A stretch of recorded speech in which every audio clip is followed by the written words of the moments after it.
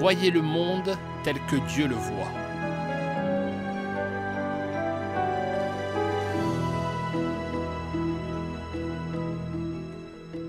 Jésus revient.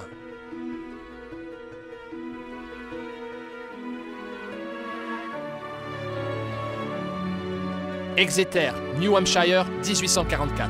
Tout sur son retour Tout sur le retour du Christ Tout sur son retour J'aimerais bien voir du haut de ces nuages. Ça viendra bien assez tôt. Pour nous tous. Tout sur le retour du Christ Achetez le journal Tout sur son retour Euh, Je t'en prends un, fiston. Donc, ça intéresse les gens, le retour du Christ? Eh bien, les gens veulent savoir pour la fin du monde, monsieur.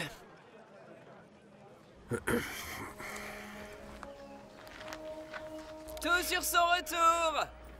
Tout sur le retour du Christ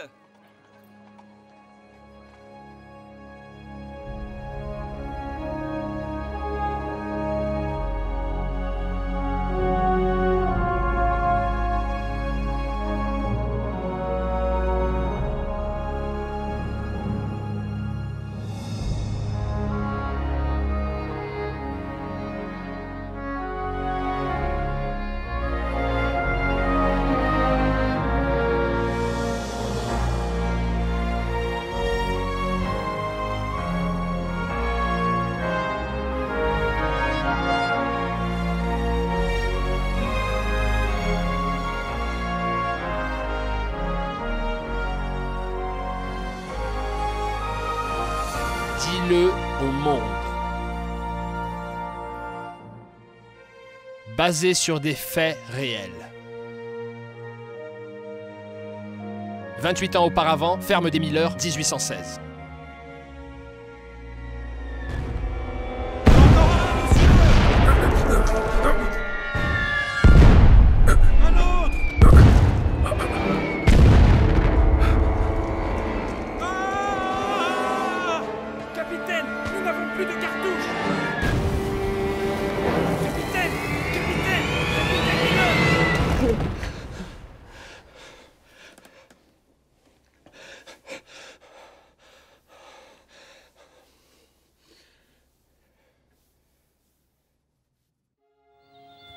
New York, 1816. Mais comment concevoir un Dieu riche en bonté, qui prodigue ses biens à ses enfants qu'il aime, mais qui verse sur eux des maux à pleine main? Dieu vint relever notre race affligée. Il vint sur la terre, mais ne la changea point.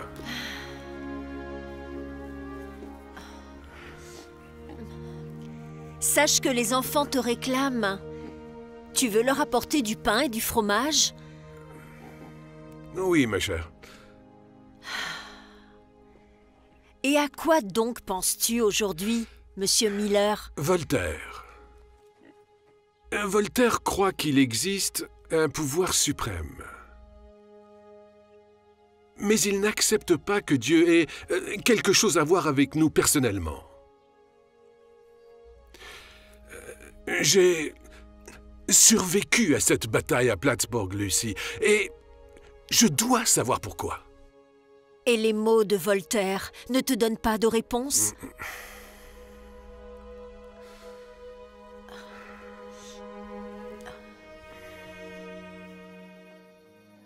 Dieu viendrait sur un champ de bataille pour se mêler de la vie des hommes Ce n'est pas rationnel, William, ce n'est pas logique. Oui, mais si vous aviez vu les canons et le sang, vous sauriez que la seule explication logique pour notre victoire ne peut être qu'une intervention divine. Et les hommes et les garçons qui sont morts autour de toi, est-ce que c'est la main de Dieu qui les a fait tomber? Je n'ai pas la réponse à ça, Abner, mais je ne suis pas mort alors que j'aurais dû l'être. La Bible a peut-être une réponse. Allons, monsieur Miller. La Bible est un vieux conte de fées. Vous n'avez aucune preuve de sa validité. Vous n'avez pas la preuve du contraire. Les deux avis requièrent un acte de foi. L'un mérite sûrement autant d'attention que l'autre, non? Donc pour vous, un texte ancien fait autorité sur tout? Il aurait juste les réponses que je cherche. Bien. Moi, je sais ce que je cherche. Une autre pente.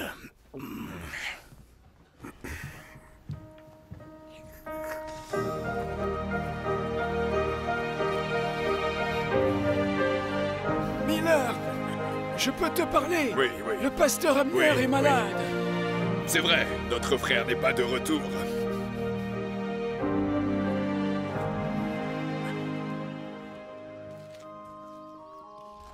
Abner est malade.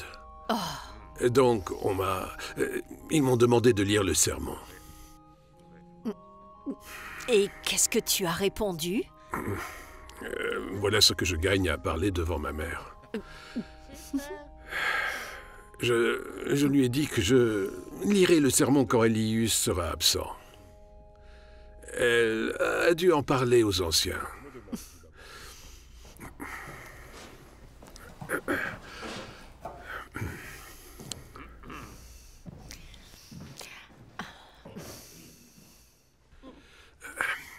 En effet, euh, tout enseignement parental, à moins d'être confirmé dans la pratique, exposera non seulement les vérités enseignées, mais aussi les parents. Euh, Beaucoup restent endurcis, euh, sans penser pour Dieu qui les a créés, ni pour Jésus qui a donné son sang pour eux.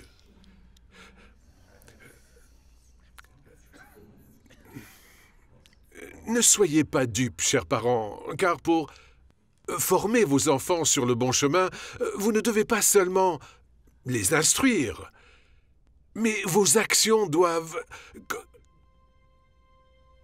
corres- Euh, Vos actions doivent correspondre à l'appel de Dieu dans votre cœur.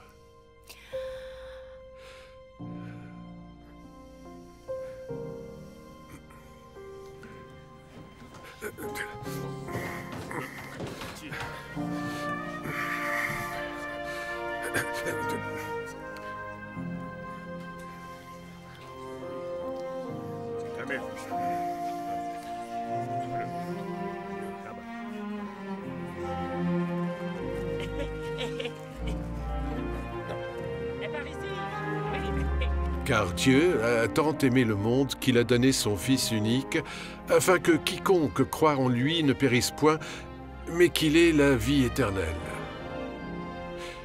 Je t'ai aimé d'un amour éternel. C'est pourquoi je suis l'Éternel, ton Dieu, ton Sauveur.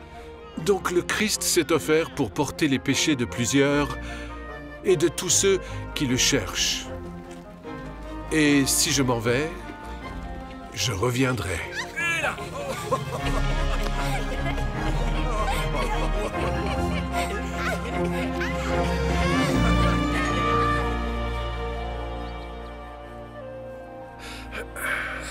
Ma petite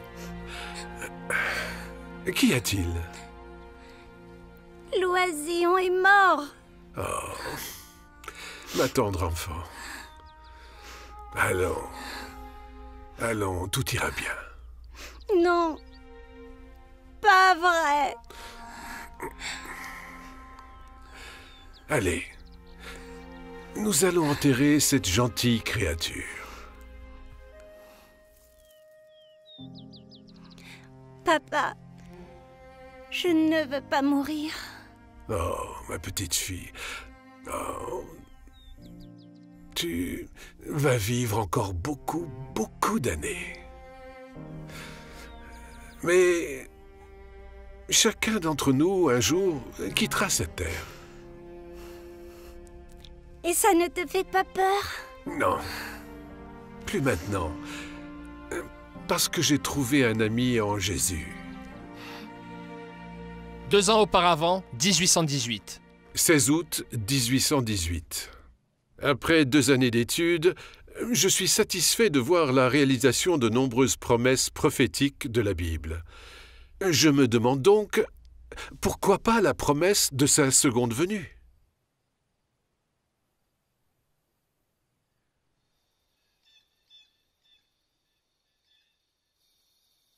À nouveau sur la vision de Daniel? Alors, parle fort, pour que toute la famille t'entende.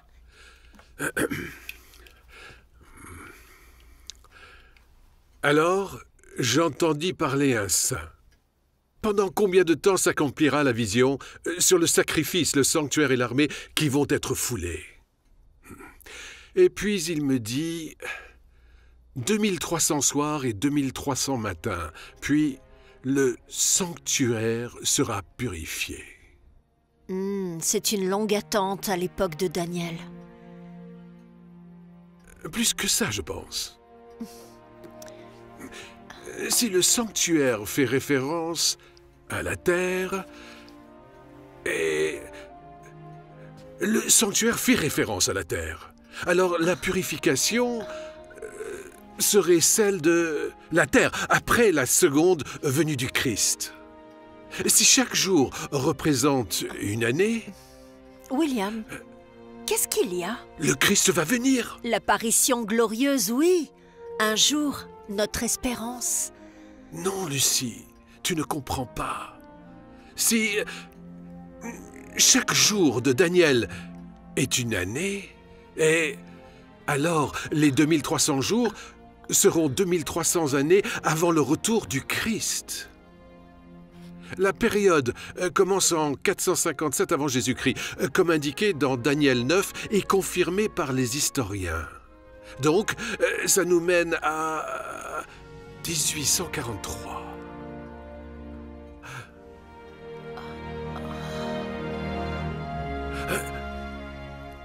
Le Christ revient.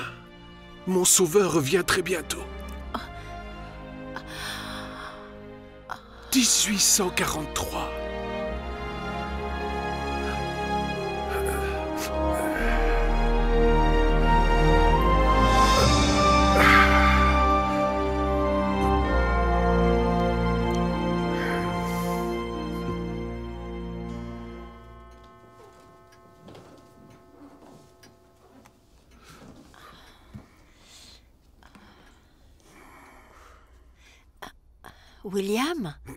William, mon chéri, viens te coucher. La Bible, elle détient la réponse sur la date du retour de notre Sauveur. La parole de Dieu dure depuis tous ces siècles. Elle sera toujours là demain matin. Tu vois ce que le Seigneur nous montre? En effet, je ne douterai plus de la vérité des saintes écritures. Ta parole est une lampe à mes pieds et une lumière sur mon sentier.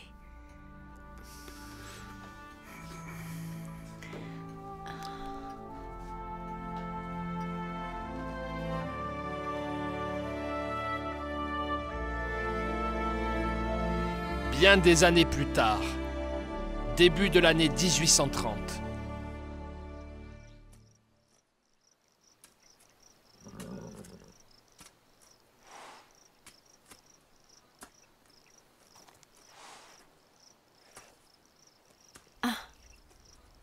Qu'est-ce qu'ils ont heurté?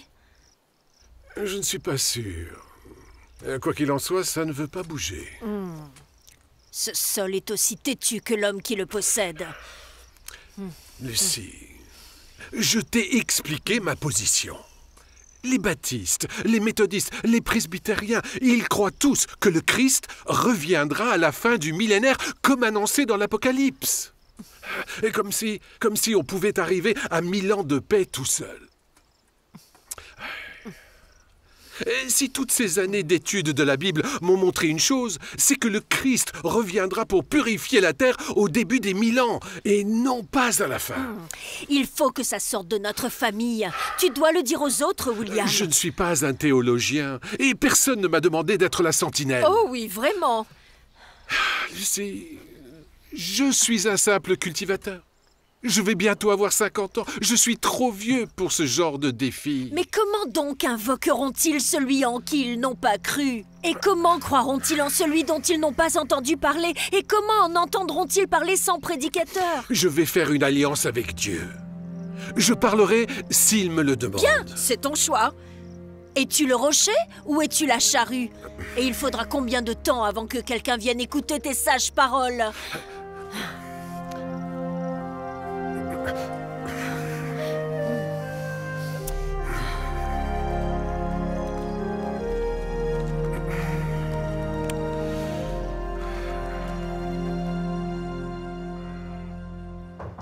Entrez. Irving? Tante Lucie, Et à quoi devons-nous cette visite inattendue? Le pasteur de notre église baptiste est parti. Mère et père espèrent que vous parlerez à sa place demain. Il pense que vous pourriez parler des prophéties que vous avez étudiées.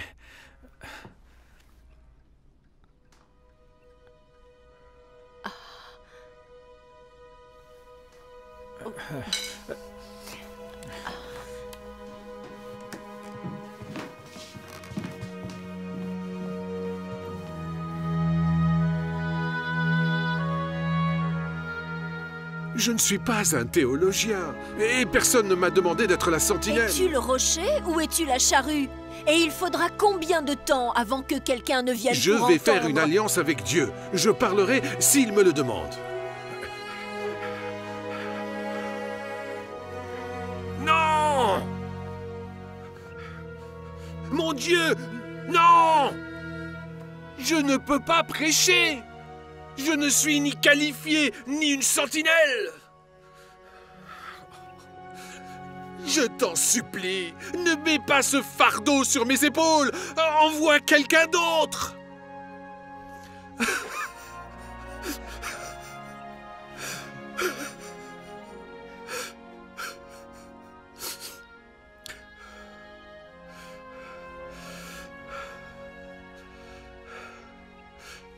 Mais je t'ai fait une promesse. Alors, euh, comment refuser? Comment puis-je refuser au seul qui a vraiment pardonné mes faiblesses et qui m'a sauvé de moi-même?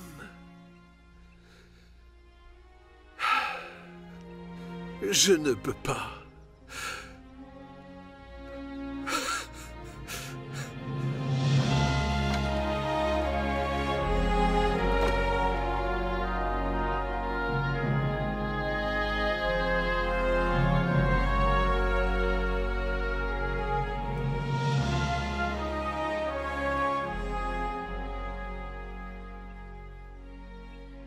Comme nous savons, c'est évident dans la vision de Daniel que la purification du sanctuaire est le symbole du retour du Christ pour purifier notre terre, que nous avons euh, ravagé par la guerre et souillé par le péché.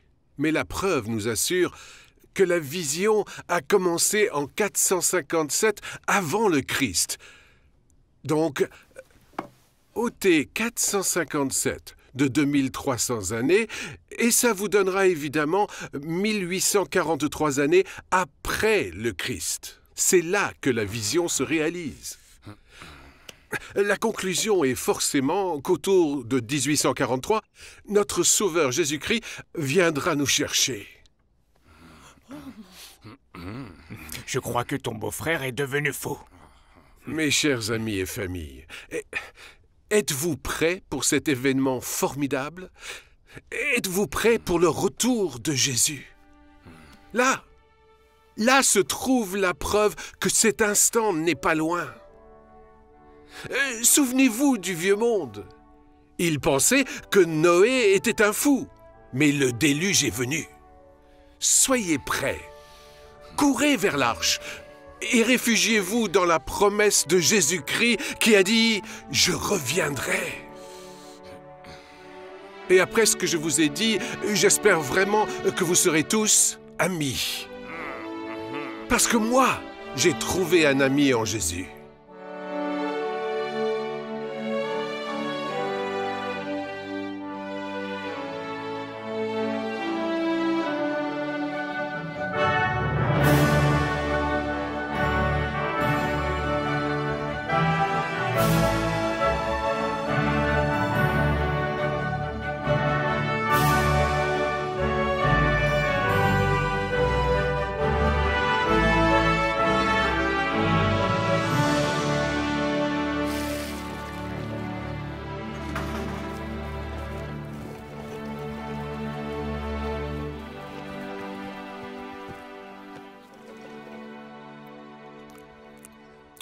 Tu dois vraiment repartir demain?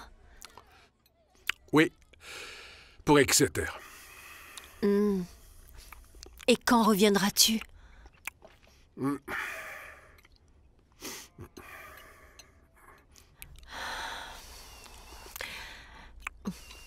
Je vais aller préparer ton sac.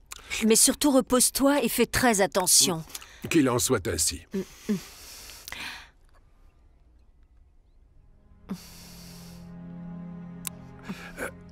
T'ai-je, de quelque manière, déçu Comment pourrais-je l'être Puisque tu suis ta vocation. Euh, Parfois, je souhaiterais que tout soit différent. Bientôt notre Sauveur reviendra. Combien ce sera différent au ciel?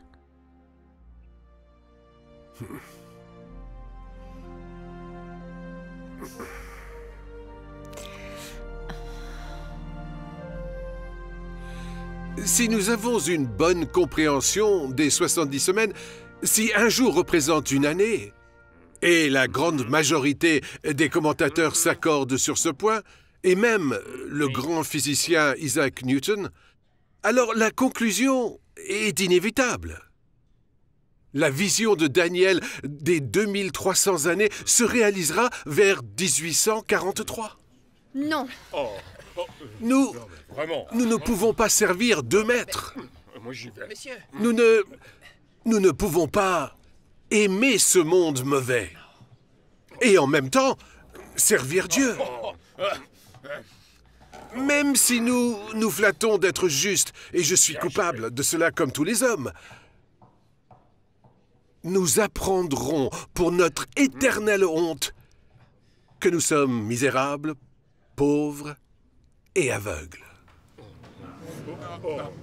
Sans les tasser. Non. Non, moi, non. Impossible. Non.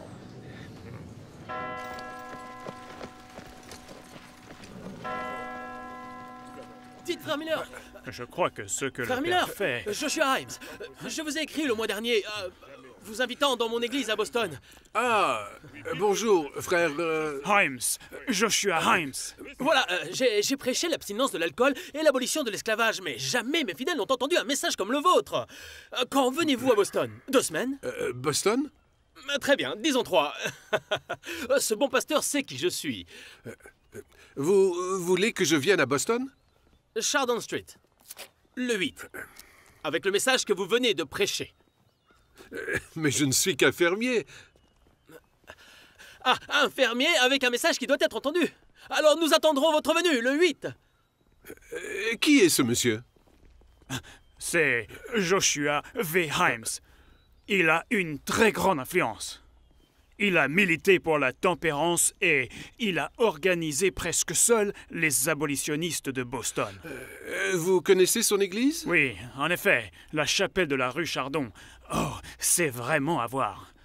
Calvinistes et Dunkers, Mugletoniens et Quakers agraires, en plus des unitariens et des philosophes. Ils viennent tous pour avoir leur moment.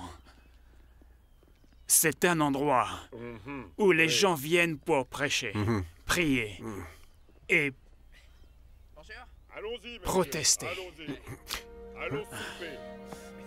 Vous voilà parti pour la grande ville, frère Miller. Déjeuner, comme vous voulez. Moi, j'ai faim. J'ai faim.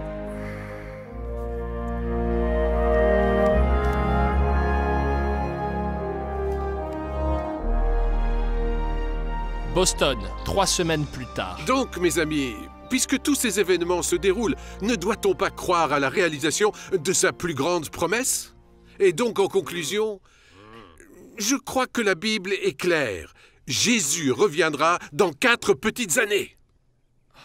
Quelle grande nouvelle Très bien. sauveur de notre vivant Vraiment, C'était un très beau oui. sermon, très beau discours. Ah, moi j'y crois. Vous étiez même meilleur qu'au service matinal, frère Miller. oui, bon, oh, reposez-vous. Euh, Demain, ils reviendront pour en entendre davantage. La force de votre message est indéniable. Ce n'est pas la force, Joshua, ni mon message. C'est la vérité de Dieu, délivrée par un humble porte-parole. Mais combien le message qui sort de cette bouche est touchant Papa dit que vous avez fait la guerre de 1812. Un boulet a explosé pas plus loin de moi que euh, ta mère. Et j'ai vraiment cru que c'était ma fin. Oui, mais quand la fumée s'est dissipée, j'ai été épargné par la force de notre Dieu. C'est vraiment arrivé? La pomme ne tombe jamais loin de l'arbre, je le crains. Pardonnez ma fille pour son impertinence. Euh, C'est aussi vrai que je suis assis là devant vous. Et la prochaine vérité, les enfants, c'est que c'est l'heure du coucher. Dites bonne nuit au père Miller et à papa. Bonne nuit. Bonne nuit. Donc, vous croyez vraiment en cette doctrine que vous prêchez? J'étais perdu et je me suis retrouvé. Et S'il peut me sauver, Joshua, il peut sauver tout le monde. Alors, dans ce cas, pourquoi cacher votre talent dans des petits hameaux? Est-ce que Baltimore, Rochester, Philadelphie et même New York, croyez-vous que les 17 millions d'âmes des États-Unis ne seraient pas inspirées par cet espoir? Et le reste du monde alors? J'ai travaillé dur ces dernières années et j'en ai vu beaucoup accueillir la vérité de Dieu. Mais je... je cherche de l'aide. Je veux de l'aide. Vu la force de votre conviction, je suis prêt à déposer tout ce que j'ai sur l'autel de Dieu pour vous aider. Mais alors dites-moi, dites, resterez-vous à mes côtés si je m'engage? Bien sûr que je resterai. Préparez-vous pour la campagne. Si le Christ doit venir dans quelques années, nous devons nous hâter de passer le message. C'est comme ça que nous nous ferons entendre.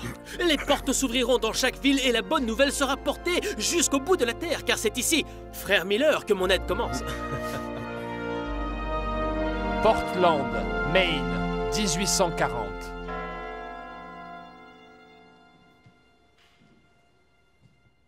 Je ne suis qu'un vieux fermier, mais les saintes écritures sont devenues mon bonheur. Les idées du livre de Daniel et de l'Apocalypse dont nous avons parlé aujourd'hui sont le résultat de mes nombreuses années d'études. Et pourtant, je pense qu'il est important que vous sachiez que je ne suis pas le seul à être convaincu. Beaucoup d'autres, à- à travers le pays, croient maintenant à ces vérités. Notre message est le même, car il est évident dans les pages de la parole de Dieu pour ceux qui veulent les lire. Et il doit être délivré d'urgence, car, mes chers amis, l'heure du retour du Christ est très proche. Mais ne cherchez pas un jour exact, car même s'il est proche, le Christ l'est aussi. Connaissez-le, cherchez-le. Aimons-nous les uns les autres. L'amour est de Dieu. Et ceux qui aiment sont nés de Dieu et connaissent Dieu. Notre Dieu séchera toutes les larmes. Et il n'y aura plus de mort, plus de peine ni de pleurs. Et il n'y aura plus de douleur, car tout cela aura disparu.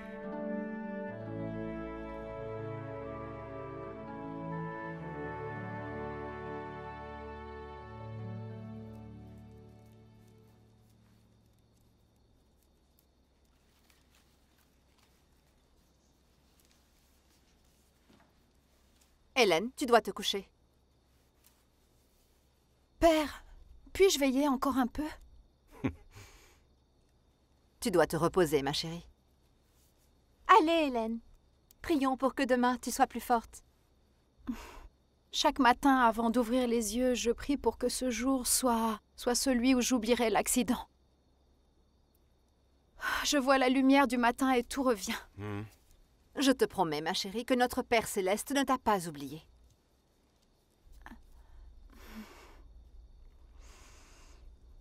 Il me tarde de vivre le jour dont le Père Miller a parlé à l'Église. Plus de douleur. Je n'avais jamais entendu parler de Jésus qui guérit. J'avais entendu parler de sa colère, de son jugement, mais je n'ai jamais... Sa guérison. C'est si beau.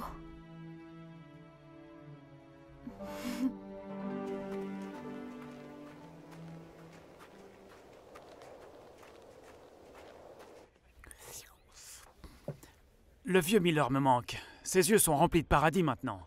Oui, et sa bouche ne parle que de ça maintenant. Ah oui, mais il ne boit plus. Ce qui, je suppose, en laisse plus pour les autres. Ouais. Qui aurait pensé qu'un fermier deviendrait un juge de paix? Et puis, qu'il entamerait une révolution religieuse? Hmm. Barnaby Larson revient d'Angleterre et il dit que cette idée de fin du monde est sur toutes les langues là-bas et qu'elle se répand dans toute l'Europe. C'est pas vrai. C'est vrai.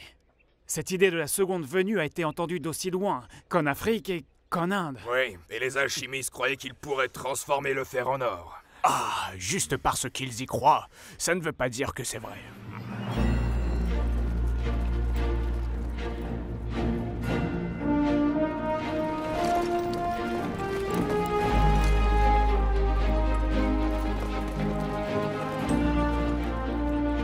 Ces découvertes sont d'une importance majeure. «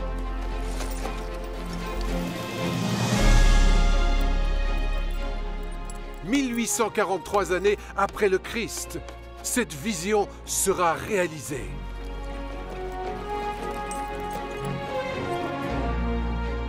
Même si vous êtes très persuasif, notre portée n'est pas assez grande.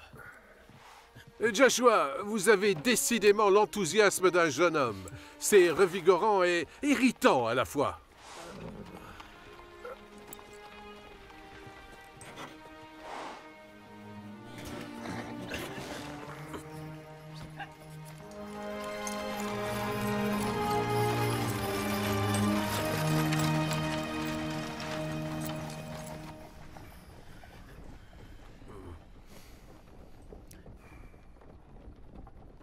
Oui, et les demandes affluent de toutes les villes, du nord au sud de la côte est. Vous pourriez prêcher dans chaque église, d'ici jusqu'à la Floride. Enterrez-moi plutôt à Lorehampton, près de mon petit bois. Deux fois par jour. Et encore, ça ne suffirait pas. Et faites en sorte que ma femme ait de quoi vivre jusqu'au jour du jugement. La prochaine étape, c'est l'expansion par la presse. La publication n'atteindra plus juste quelques oreilles, mais d'innombrables yeux par page. Votre voix sera amplifiée. Ne dites pas « je suis un simple fermier Mais je ne suis qu'un simple ». fermier. Qui a demandé de l'aide? Eh bien, je ne pensais pas que ce serait comme ça. Les journaux ont cumulé les abus de toutes sortes sur vos travaux. Nous pourrons enfin répondre, mais dans nos propres termes. Je suis un vieil homme fatigué. Et moi, le propriétaire d'une machine à imprimer. Le 20 mars 1840.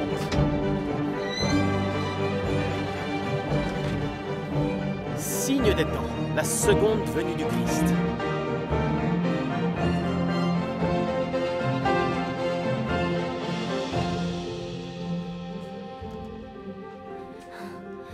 Regarde, on parle du message de papa. Laisse-moi voir. L'arrogance précède toujours la chute. Nous ne devons pas laisser nos têtes s'emplir de notre suffisance. Est-ce que ces mots sont de la Bible? Ces mots sont de ta mère.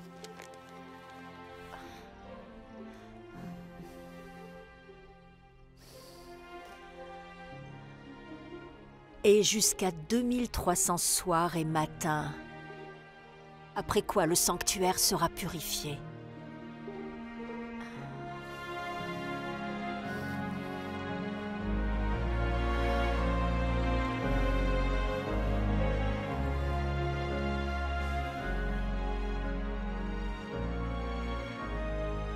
Monsieur Miller et ceux qui l'écoutent souffrent d'hallucinations.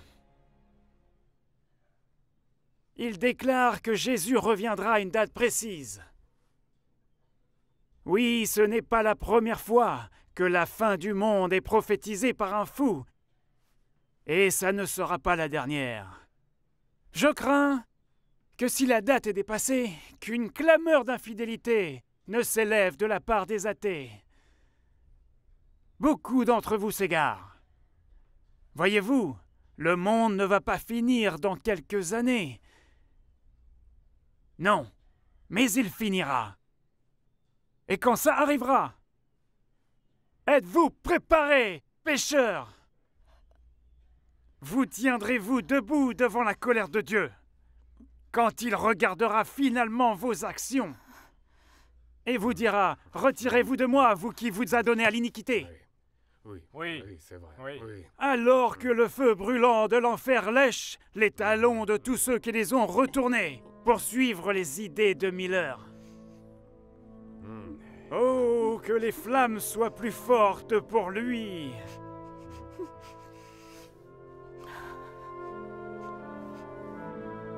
S'il te plaît, pardonne mes iniquités contre ton nom et délivre-moi du mal. Que dois-je faire pour être vraiment sauvée Maman. Aie pitié. Aie pitié de mon âme fragile. Pardonne mes iniquités contre ton nom et sauve-moi du mal.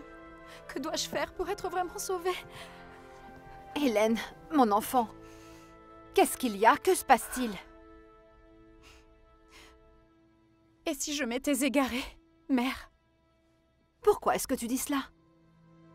J'ai tellement peur Mère, le prédicateur a dit de si mauvaises choses sur le père Miller.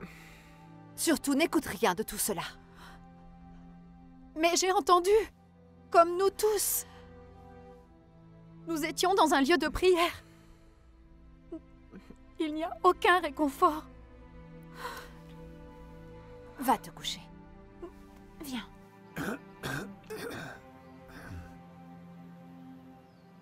Ta mère m'a dit que tu étais très bouleversée hier soir. J'ai été prise d'une peur terrible. Frère Stockman, je sais que vous croyez aux enseignements du Père Miller. En effet, j'y crois. Comme beaucoup d'autres pasteurs méthodistes. Quand le Père Miller partage son espoir de la venue, cette urgence est tempérée par l'amour. Pourtant, maintenant, je n'entends plus que les pasteurs qui parlent de brûler en enfer pour toujours. Quel espoir y a-t-il pour moi? Pour nous tous, dites-moi. Si le Père céleste est un tyran qui se délecte dans le tourment éternel. L'agonie même de vos esprits est la preuve que le Saint-Esprit de Dieu œuvre dans vos cœurs. Notre Dieu ne se réjouit pas de ta destruction. Ah, Ce n'est pas non plus dans sa nature de condamner, mais il cherche ceux qui sont perdus. Comment puis-je en être aussi sûr? Va en paix, Hélène. Va en paix. Aie donc confiance en Jésus, car il ne mettra jamais dehors ceux qui le cherchent vraiment.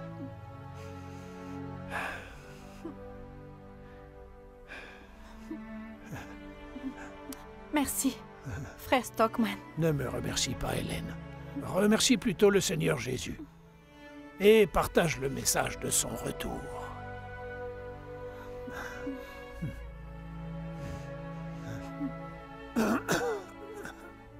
Joshua Himes et Père Miller ont annoncé une conférence à Boston.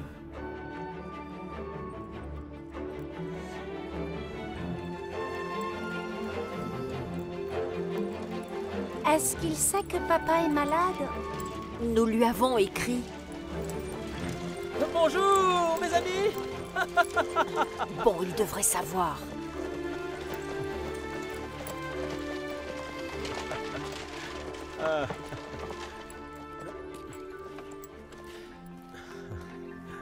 Il ne peut pas voyager, Joshua. Il ne peut pas voyager. Non, non, non, non, bien sûr que non. Euh, C'est sérieux, la typhoïde, c'est très sérieux. Je sais que vous avez tous deux mis beaucoup d'énergie pour cette occasion. Ah, C'est la première fois que nous serons tous réunis au même endroit, dans un but commun. Baptiste, méthodiste, presbytérien, tous comprenant parfaitement le proche avènement.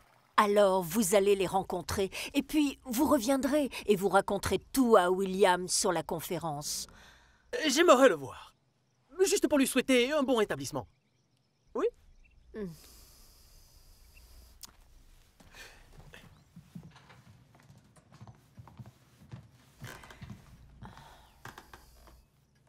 Bonjour, cher ami, comment allez-vous aujourd'hui?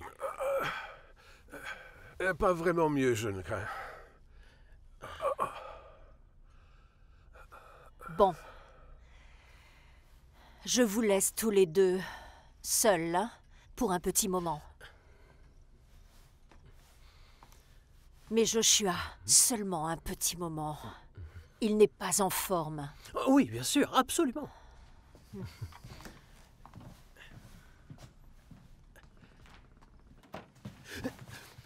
Êtes-vous sûr que vous ne pouvez pas voyager dans la calèche? Je vous préparerai un merveilleux lit à l'arrière, bien épais, à l'air frais, vous. non, à la conférence, Joshua. les gens viendraient à vous. Je pensais qu'on pourrait mettre en place un endroit. Non, Joshua, c'est plus fort qu'un seul homme. C'est la volonté de Dieu. Des centaines de pasteurs vivent le réveil. Vous n'avez pas besoin de moi. Oui. Bien sûr. Vous avez raison. Je prierai pour vous. Euh, merci.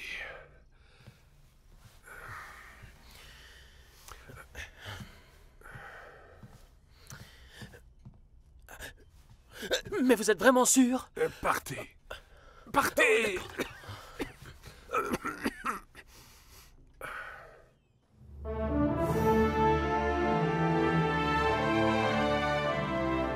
Première conférence millérite, Boston, le 13 octobre 1840. Oh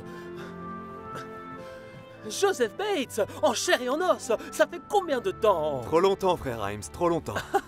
J'ai beaucoup entendu parler de vos travaux sur la tempérance avec la connexion chrétienne. Vous vous êtes aussi fait une belle réputation en parlant du mal de l'esclavage. Je ne suis qu'un humble serviteur, Joshua. Dieu parle et j'obéis. Ah, néanmoins, votre réputation est bien méritée. Est-ce vrai? Le frère Miller n'a pas pu venir? Oui, ah, la fièvre typhoïde. Euh, C'est bien dommage. Oh, oh, frère Bates, puis-je vous présenter Hiram Edson? Ah, Vous connaissez peut-être le frère Edson grâce au pasteur Finet. Oh, oui.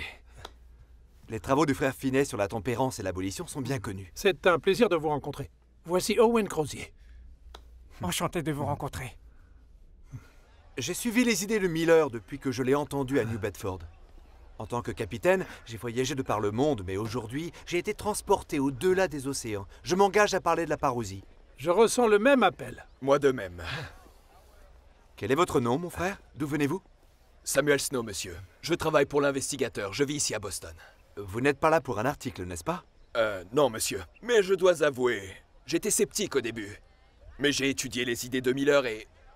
Je crois qu'elles détiennent une vérité merveilleuse. Ah La conférence est terminée et pourtant je vois que la conversation continue.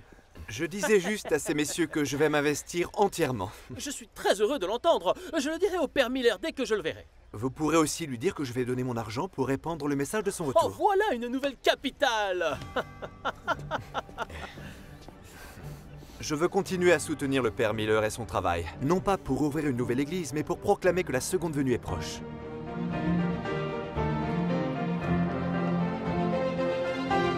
Bureau, imprimerie de la Gazette. Alors, la conférence a eu du succès? Ils sont venus du Maine, de New York, du Connecticut, du Vermont, du New Hampshire, de Rhode Island. Tellement d'idées ont été présentées. C'était un véritable échange de pensées et d'enthousiasme. Nous avons des promesses de dons financiers et nous allons refaire cela très bientôt. La prochaine fois, vous en ferez partie, ainsi que Joseph Bates. Euh, Bates Je me souviens l'avoir rencontré l'année dernière. Et il ne consommait pas de tabac. Il m'avait semblé euh, étrange. Ça, il l'est. Mais il va être quand même très important pour nous. Nous allons avoir les moyens maintenant. Plus de villes, plus de tirages. Vos mots vont toucher beaucoup, beaucoup plus d'âmes. Eh, S'il vous plaît, Joshua, souvenez-vous, ce n'est pas notre travail, mais celui de Dieu. Bien sûr.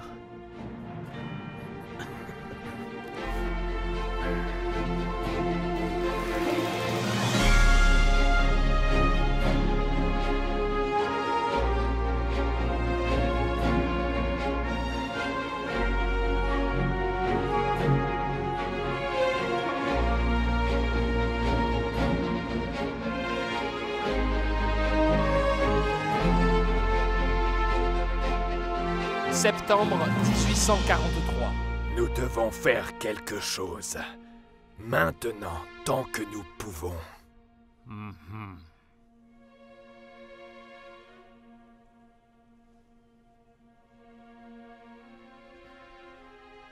Nous ne pouvons négliger cela.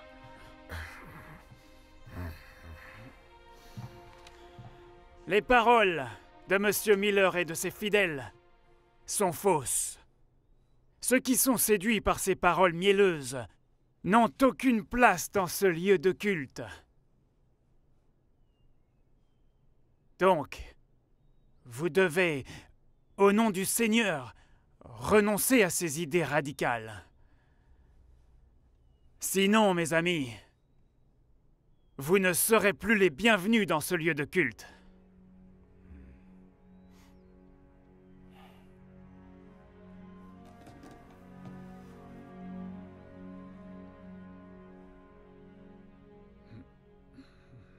Vous pouvez croire que vous nous chassez.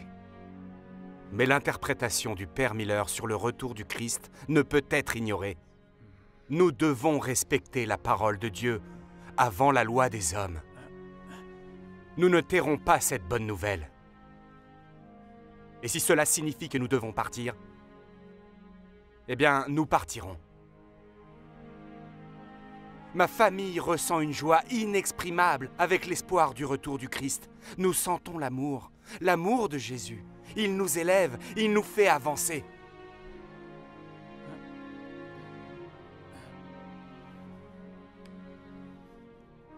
Et il nous conduira chez nous.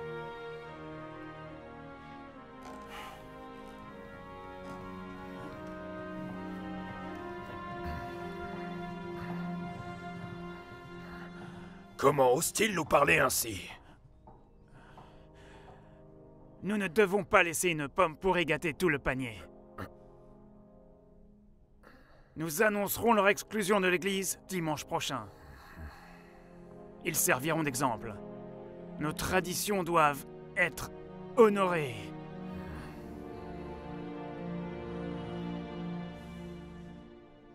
En ce jour béni de communion, je vous laisse avec la mission d'aimer le Seigneur votre Dieu de tout votre cœur, de respecter tous les commandements de Dieu et de l'honorer en respectant le saint sabbat. Amen. Amen. Oui, amen. Je veux lui parler. Mère Mère, non. Si vous le devez, mais nous venons d'arriver. N'oubliez pas que nous sommes des étrangères. Pasteur Wheeler sera intéressé par ce que j'ai à dire. non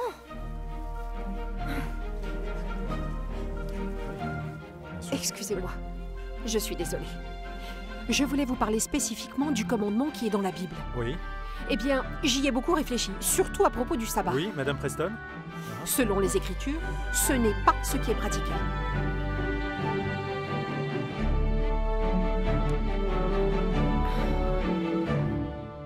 Il a entendu ce que j'avais à dire. Il a vraiment écouté. Et il changera son jour de culte du dimanche au samedi, comme le suggère le commandement? Il a été impressionné par notre échange sur la Bible. C'est-à-dire? Il a promis d'y penser sérieusement et qu'il examinerait l'idée plus en Madame détail. Preston. Bonjour. Et à partir de là, vous déclarez la victoire?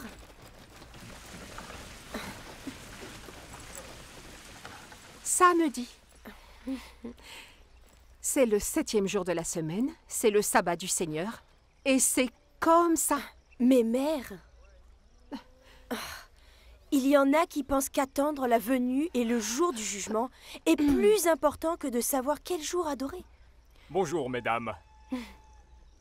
Peut-être que bientôt le jour n'importera plus. J'ai planté une graine. En tant qu'enseignante, ma chère, tu devrais comprendre comment le savoir augmente. Jésus revient.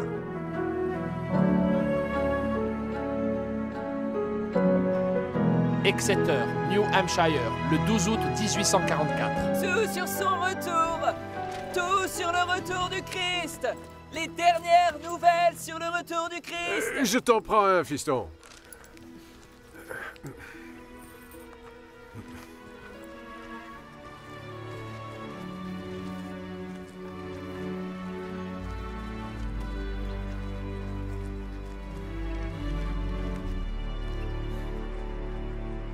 Allez, vous pouvez leur accorder ça. Je suis très beau.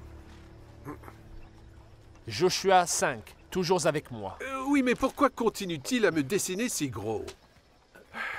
Donc, euh, combien de personnes attendez-vous? C'est la tente la plus grande jamais dressée sur le sol américain.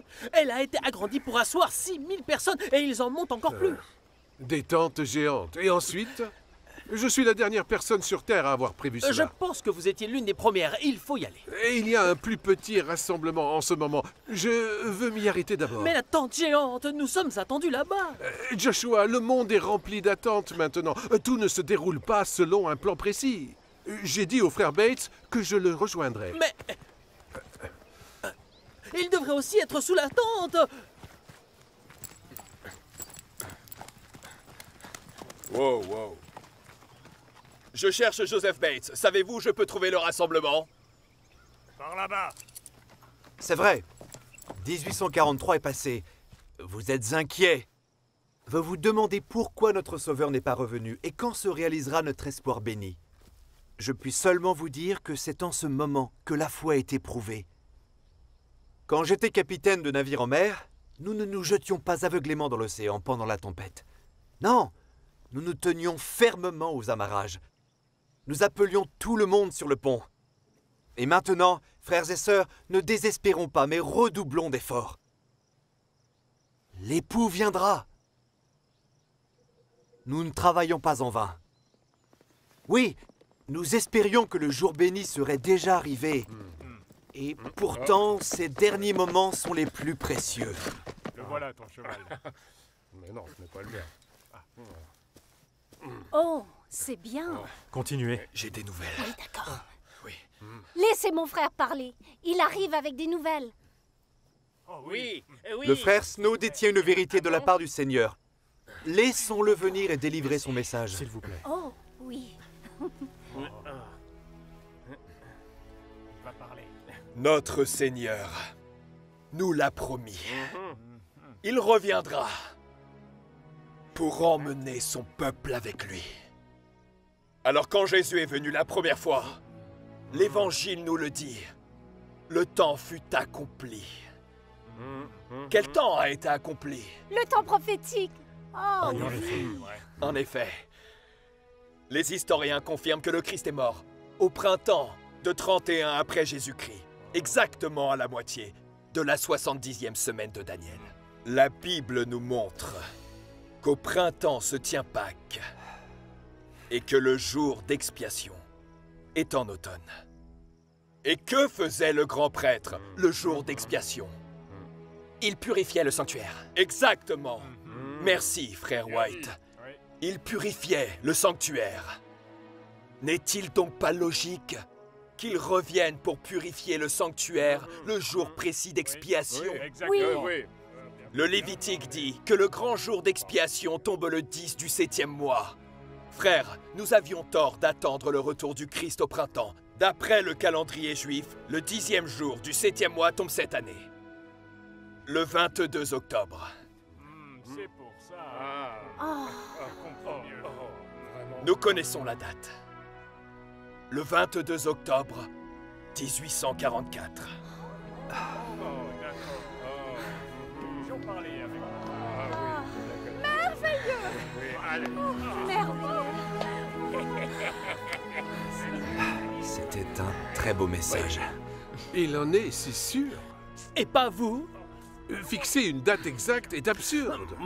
Non, pas maintenant, frère. Euh, Nous ne sommes pas désirés ici. Espérons que Dieu nous en révélera davantage plus tard.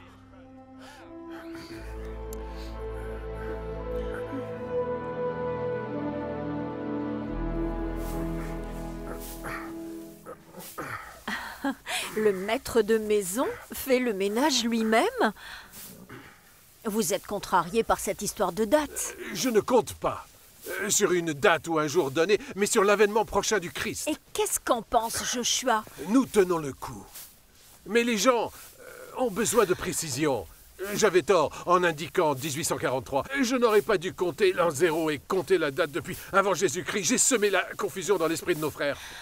Alors, vous ne donnerez aucune date précise, n'est-ce pas Euh, non, en effet. euh, mais les recherches du frère Snow sur le sanctuaire m'ont fait réfléchir. Eh bien, vous devez juste rechercher la vérité présente et la lumière de Dieu, William. La Bible est très claire. Pourtant, Samuel Snow est sûr de lui. Il croit en ses frères et au Seigneur.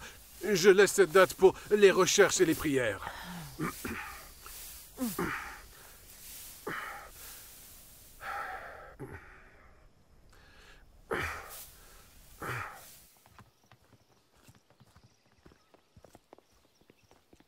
Avec ma femme, nous sommes ravis d'avoir acheté votre maison. Si ce n'est pas indiscret, où est-ce que vous comptez aller, dites-moi? Au paradis. Mais si jamais la fin du monde ne se produisait pas, vous avez un plan Le Seigneur a un grand plan pour chacun d'entre nous. C'est juste, absolument.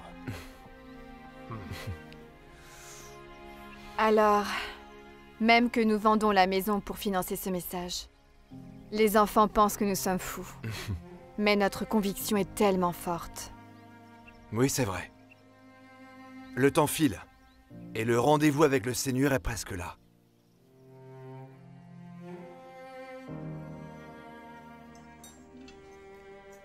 On dirait que tu as retrouvé ton appétit, Hélène. Ça nous fait plaisir de te voir comme ça. On est presque arrivé. Cette seule pensée me fortifie. D'ici là, nous devons tout faire pour partager avec le plus de monde possible cette bonne nouvelle.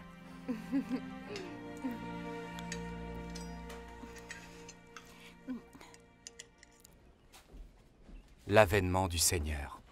Ah, Monsieur White, vos livrets sont prêts. Vous allez devenir bientôt mes meilleurs clients. Bonjour. Alors vous aussi, vous voulez partager la bonne nouvelle? Oui, monsieur. James White, de la Connexion chrétienne. Ravi de faire votre connaissance, frère White. Je suis Robert Harmon. Ça fera un dollar et vingt cents, s'il vous plaît. Merci, monsieur. On a peu de temps. Si on y allait ensemble pour voir si on peut faire une différence. Bien sûr. Bonne chance, messieurs.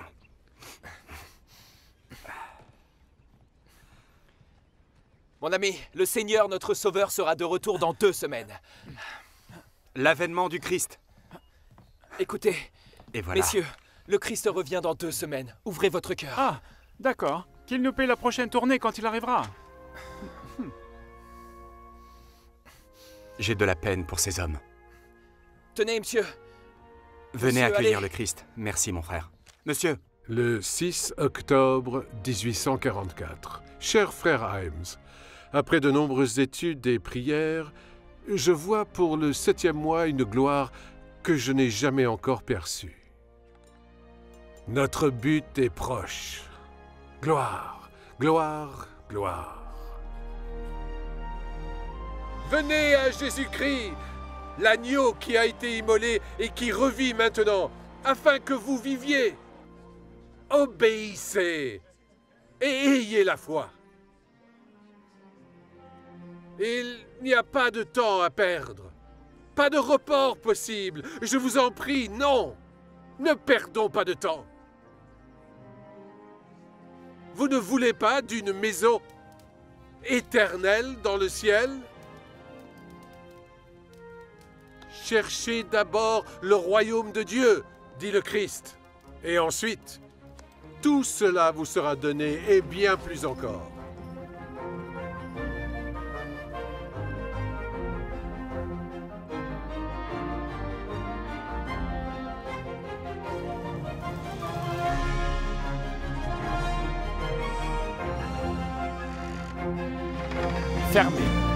Des rois apparaîtra le 22 octobre. Ce n'est pas possible Mon navire part demain et ma décision est prise Je ne resterai pas ici à supplier pendant que tu scrutes le ciel Jésus arrive demain, mon fils Eh bien, quand tu le verras, dis-lui de me trouver en mer Joseph, s'il te plaît, retiens-le. Notre fils sera perdu pour toujours. Fais quelque chose. Seigneur, dans ces derniers moments avant ton retour, guéris notre famille, je t'en prie. Aie pitié de notre fils. Fais-le revenir pour que nous soyons réunis lors de ton retour.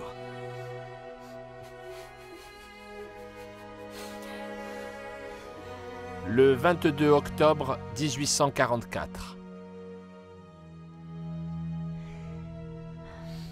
Il est tout à fait approprié qu'on soit tous ensemble pour ces dernières heures.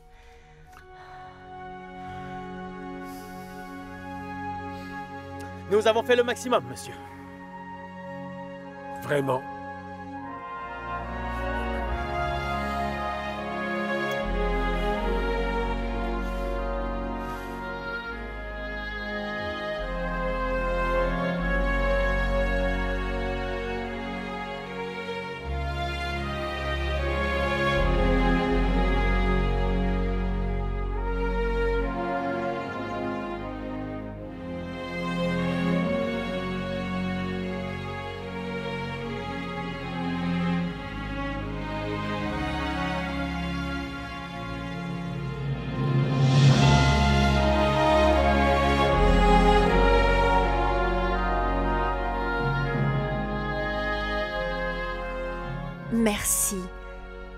avoir averti le monde avant qu'il soit trop tard.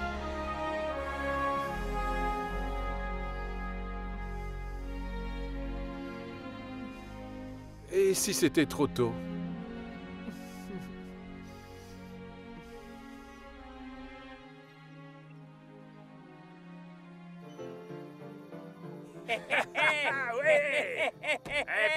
Messieurs, bière offerte jusqu'à la fin du monde. Allez. À la fin du monde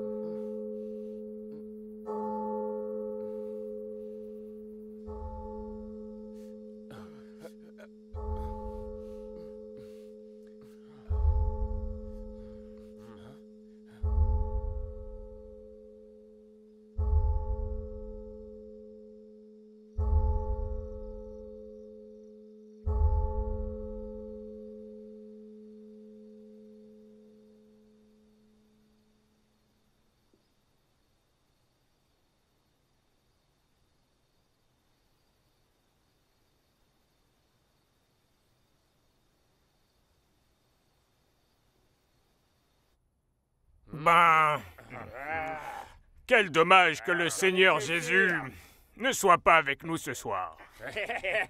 Ouais, car quand il y en a pour deux, il y en a pour trois.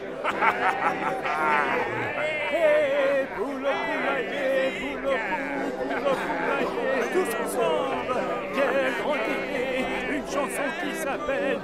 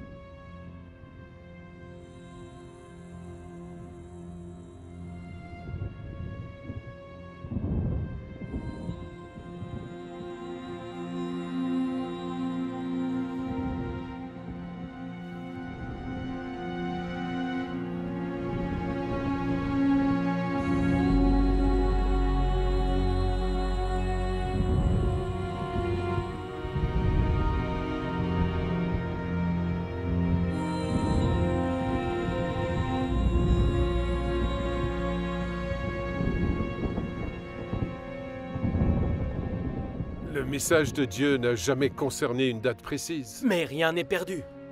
Regardez le mouvement que vous avez lancé. Vous en avez rallié des milliers. Et dis-moi, frère Himes, que leur ai-je donné? La déception? Le désespoir? C'est la vérité de la parole divine.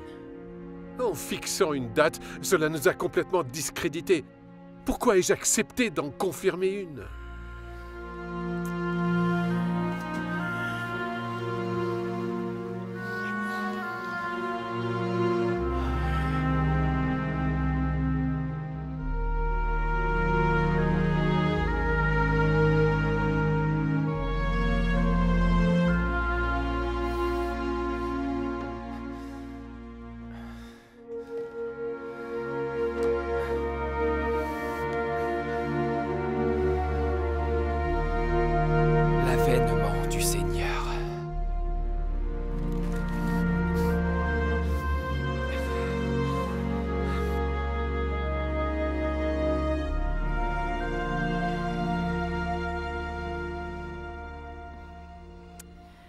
Nous attendrons encore. Combien de temps?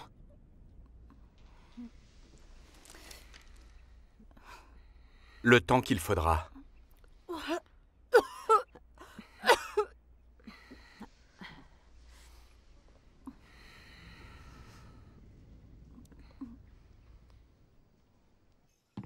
Port Gibson, le 23 octobre 1844.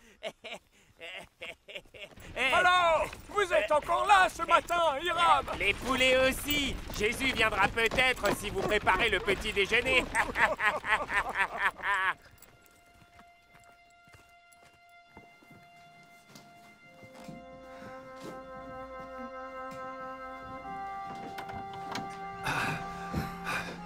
Figure-toi que tout cela n'est qu'une fable, Esther. Hiram, non Ne dis pas ça. Notre plus grand espoir ne repose sur rien. Oh, Hiram. Qu'est-ce qu'on va faire? Il faut prier. Mes frères, prions ensemble pour plus de lumière sur le chemin. Le chemin? Ouvre donc les yeux, Hiram. Mais c'est maintenant que nous devons être ensemble. Mais nous avons été dupés. Tu nous suggères de continuer à croire ces mensonges Et si vous donniez à Dieu une chance?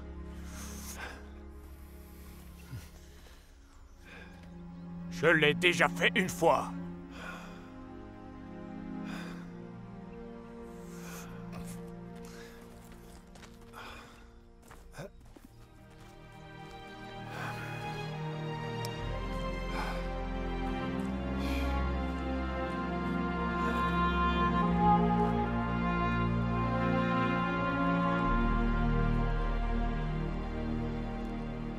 Notre Père, tu nous as tous bénis alors que nous attendions ton retour.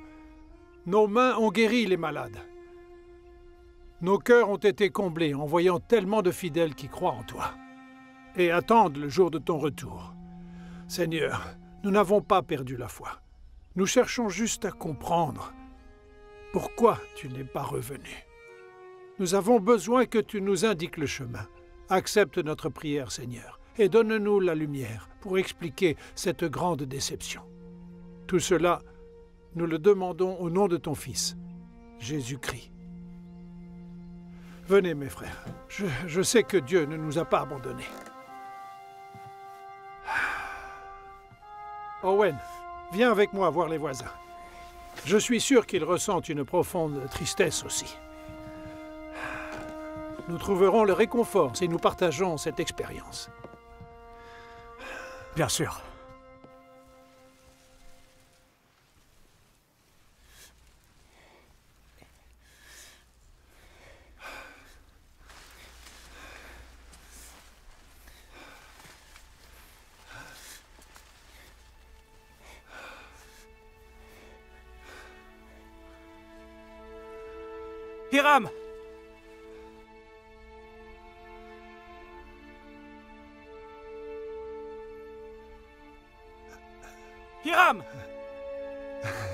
Le Seigneur a répondu à notre prière.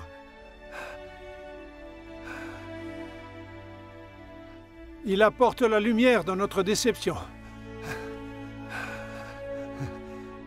Les premiers chrétiens pensaient que Jésus était venu créer un royaume terrestre et non céleste. Après sa mort sur la croix, ils ont ressenti la même déception amère que nous. Nous nous sommes trompés sur la date, Hiram. Non, Dr. Han, je crois que la date était juste. Alors pourquoi le Sauveur n'est-il pas revenu?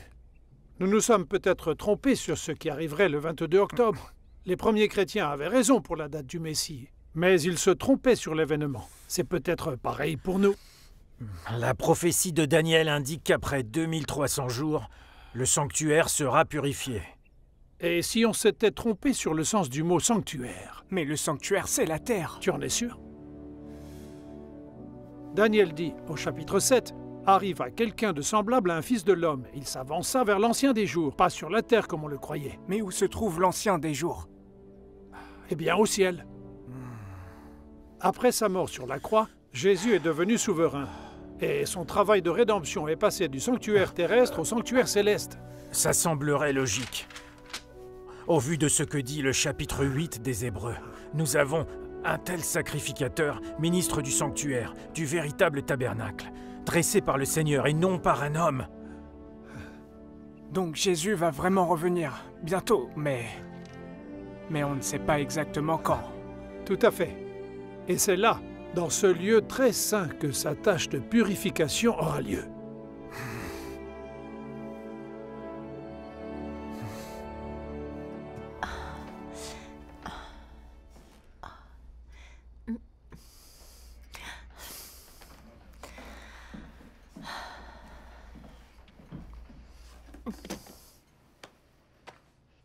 Le plus grand canular de tous les temps.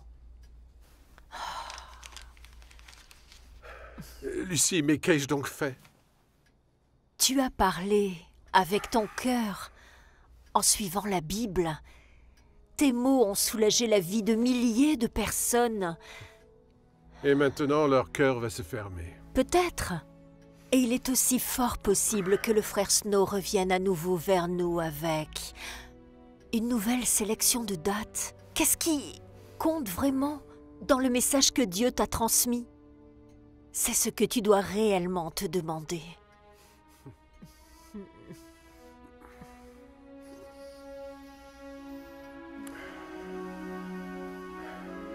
Oui.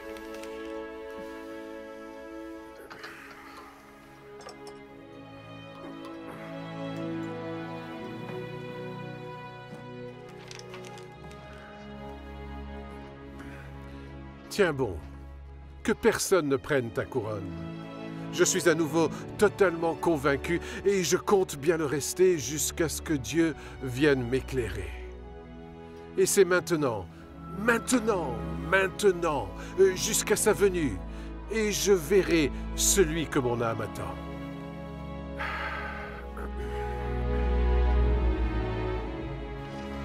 Décembre 1844. Fortifie notre foi en toi, Seigneur. Nous ignorons pourquoi tu n'es pas venu, mais nous prions pour que tu reviennes bientôt. Pour nos bien-aimés, ceux qui ont perdu l'espoir en ta venue, nous te demandons une grâce spéciale. Montre-nous la voie au Seigneur. Hélène, non, Hélène. Hélène Hélène Qu'est-ce qu'il y a? Est-ce qu'elle respire? Ça va pas, c'est pas possible. Je ne sais pas. Réveille-toi. Hélène Réveille-toi. Elle ne respire pas. Qu'est-ce qui se Hélène. passe? Hélène Je suis le messager de Dieu. Regarde encore un peu plus haut.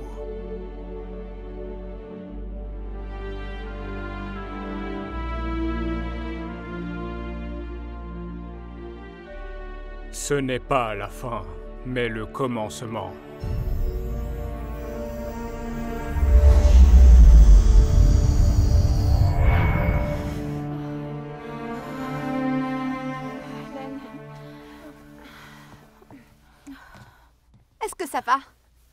Hélène, j'ai eu tellement peur. J'ai cru te perdre. J'ai tout vu.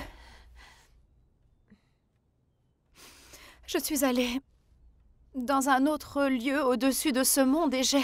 J'ai... J'ai entendu une voix. Et elle m'a parlé. Qui t'a parlé? Hélène, j'étais en train de prier. Tu as entendu ma voix? Non. Je crois bien que j'ai vu un ange. Je n'ai jamais entendu une telle chose. Elle a dû se cogner la tête, la pauvre. J'ai vu sa venue. Les adventistes suivaient un sentier vers la Sainte Cité, et tant qu'ils suivaient des yeux Jésus, qui les guidait sur le chemin, ils ne craignaient rien. Tout va bien maintenant, Hélène. Ce monde est si sombre. J'ai vu un monde meilleur, et celui-ci me paraît bien terne maintenant.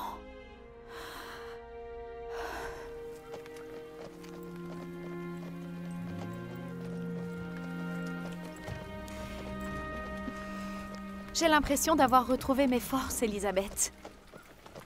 J'ai vu des choses merveilleuses, j'ai entendu des choses. C'est ce que tu dis. Elisabeth, je n'ai jamais menti de ma vie. Je ne dis pas que tu es une menteuse. Tu t'es évanouie à cause de ta maladie, tu n'as pas toute ta tête, tu ne sais pas ce que tu dis. Non. Elisabeth, le Saint-Esprit m'a refait vivre l'attente de minuit et il m'a expliqué notre grande déception. Il nous a encouragés à croire en l'avènement. Des personnes ne l'écoutaient pas et sont tombées du chemin. Tu as eu un accident quand tu étais jeune. Tu as des séquelles. Tu n'auras pas une vie normale, Hélène, nous le savons bien. Pas de mari. Tu ne pourras pas participer à ce monde, mais tu n'as pas besoin de te faire remarquer. Pourquoi tu me dis une chose pareille? Je te promets que je dis la vérité. Écoute, voici ce que je crois. Le Christ ne reviendra jamais sur Terre. J'en ai assez des groupes de prière. Mais Elisabeth... Non, tu m'as bien entendu. Tu peux considérer que je suis tombée du chemin.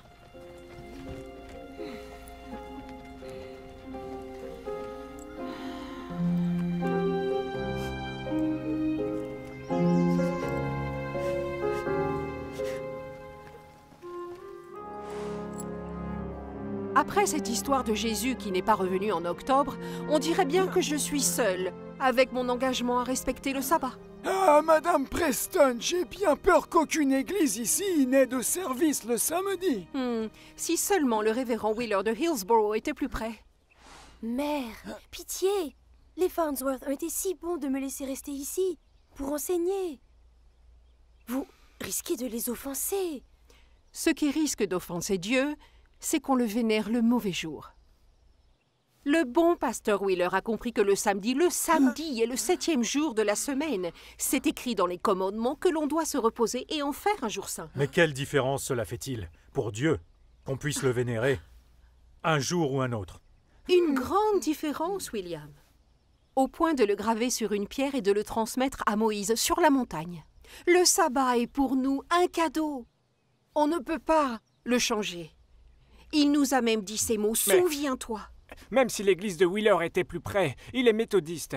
Et nous sommes des frères chrétiens. Dieu se moque bien des noms que l'on se donne. Ce qui compte, c'est que Wheeler respecte les commandements. Si Dieu nous avait donné dix suggestions, nous serions libres de l'honorer quand nous voulons. Ou pas du tout. Oh, l'attelage est prêt. Nous adorons peut-être le mauvais jour, mais arrivons à l'heure.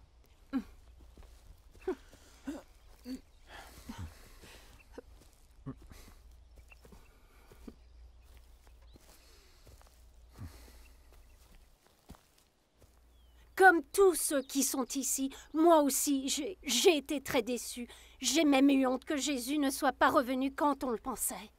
Je ne sais pas pourquoi il n'est pas venu, mais je crois toujours qu'un jour il reviendra comme le promet la Bible. Et je crois très Oui. fermement en l'avènement prochain. Merci, Madame Couch. Est-ce que Ah, quelqu'un oui. d'autre veut Oui, parler Merci. Ah, Oui. Hein? Ah, oui, c'est sûr.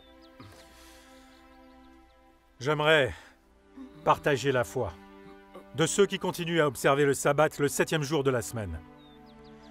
À partir d'aujourd'hui, je m'engage à observer le sabbat le samedi,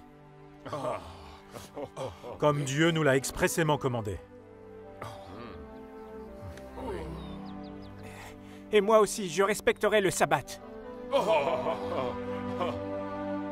À partir d'aujourd'hui.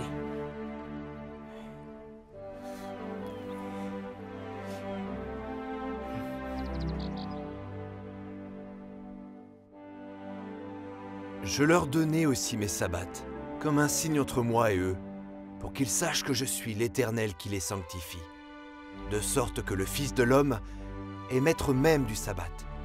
Dieu bénit le septième jour et il le sanctifia, parce qu'en ce jour il se reposa de toute son œuvre qu'il avait créée en la faisant. Car en six jours l'Éternel a fait les cieux, la terre et la mer et tout ce qui y est contenu, et il s'est reposé le septième jour. Tu as ma parole. Je vais revenir avec une foi encore plus forte. J'ai besoin de passer un peu de temps avec le révérend Wheeler. Ce qu'il nous faut, c'est un moyen de sortir de cette situation. Nous n'avons plus un sou, Joseph. Où est-ce que ces histoires de sabbat vont te mener? Je ne fais que suivre mon cœur. Je suis convaincu par la parole de Dieu. C'est le seul moyen de distinguer le bon chemin du mauvais.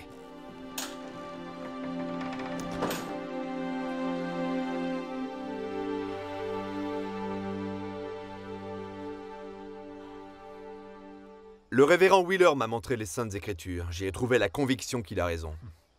Le Christ a observé le septième jour, le respecter est très important. Je respecte le sabbat.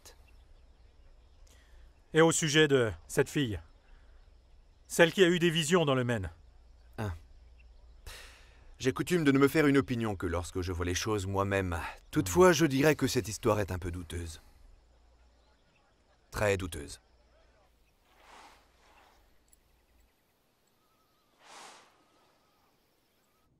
Nous sommes ici, en ce jour, gens de croyances diverses, rassemblés autour de notre engagement envers Jésus. Et notre acceptation que la Bible est la parole de Dieu pour nous guider. Par ici, Hélène. Ce matin, un membre de notre communauté, mademoiselle Hélène Armand, a demandé à nous parler. Elle va partager avec nous le cadeau que Dieu lui a fait récemment. Je ne pense pas pouvoir faire ça. Et la foi, être ici est déjà un acte courageux. Mademoiselle Harmon?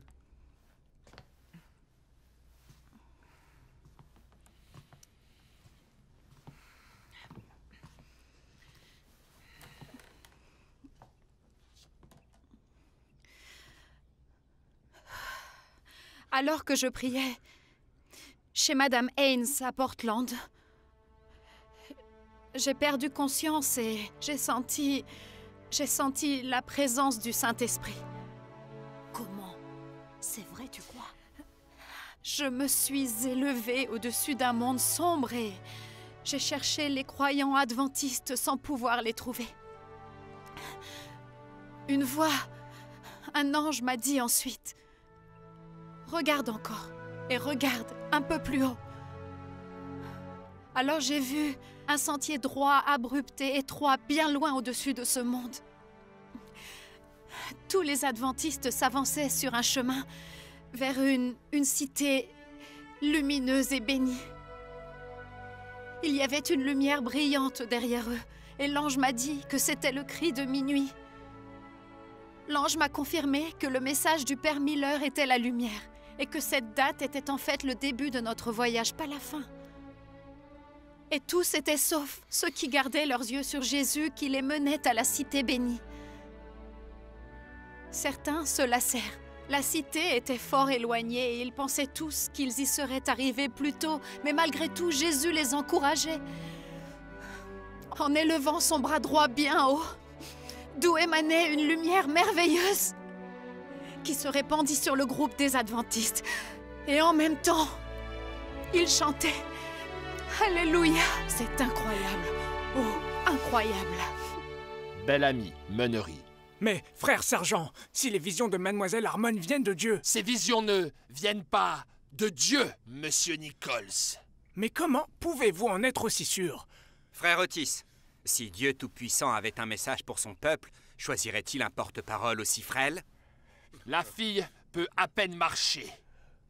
Et elle est haute comme ça. Son père fabrique des chapeaux. Et sachez qu'elle ne vient certainement pas d'une famille pastorale. Mes frères, Jésus lui-même nous a prévenus. Gardez-vous des faux prophètes. Ils viennent à vous déguisés en brebis, mais au-dedans, ce sont des loups voraces. J'ai entendu que ces visions la possédaient. Une sorte de transe. Je connais une de leurs voisines. Elle la trouve très crédible. L'un de vous a-t-il déjà vu cette jeune femme? Non Et ça n'arrivera pas. Les visions d'Hélène Harmon sont un mensonge de l'imposteur. Elle n'oserait pas en avoir une en ma présence. Elle ne pourrait pas, monsieur Robbins. Le pouvoir de notre foi annulerait le travail du diable. Elle parle de la parole du Seigneur avec beaucoup de tendresse.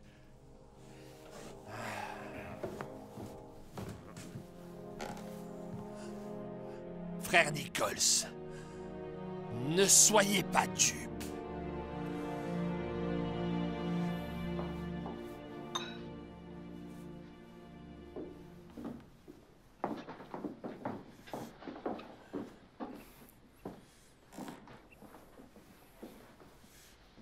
Avez-vous parlé avec eux?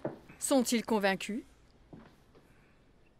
Si seulement ils pouvaient rencontrer Hélène, je crois qu'ils seraient convaincus de la vérité de Dieu. Invite-les ici alors. Sargent et Robbins Non, Hélène. Elle voyage avec sa sœur aînée Sarah. Invite mademoiselle Harmon ici. Mais, mais, mais qu'est-ce que Sargent et Robbins diraient? Nous devons permettre à nos amis de l'entendre. Elle mettra de l'espoir dans leur cœur. Oui. Si le message d'Hélène est celui de Dieu, les résistances de Sargent ou de Robbins ne la feront pas taire.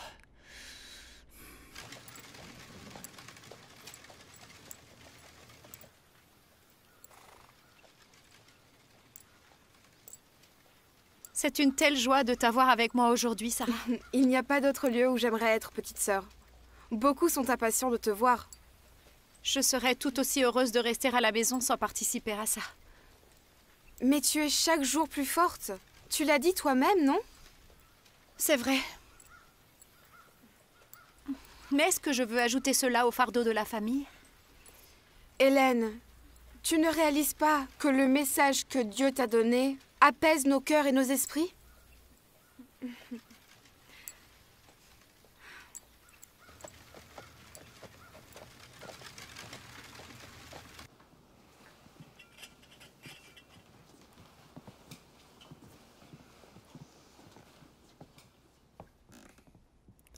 Avez-vous déjà rencontré les Harmon? Frère White, connaissez-vous les Harmon? J'ai déjà eu du thé, monsieur. Merci quand même. Pourquoi est-ce que vous n'allez donc pas rencontrer ces dames avant de devenir muet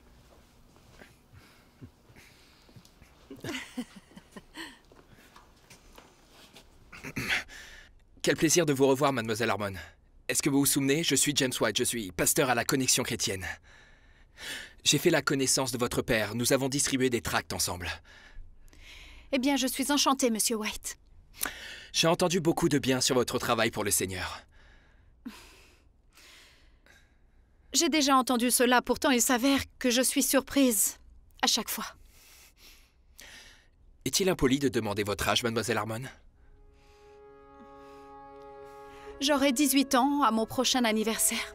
Et vous, monsieur White, quel âge avez-vous Eh bien, j'ai 23 ans. Et vous vous êtes mis au service du Seigneur Oui.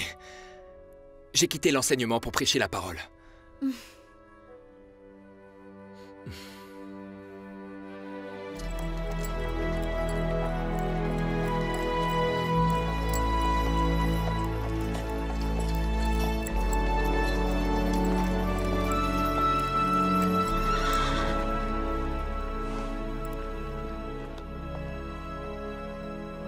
Bienvenue. Nous sommes tellement honorés de vous avoir ici avec nous. Merci beaucoup. Tout l'honneur est pour nous.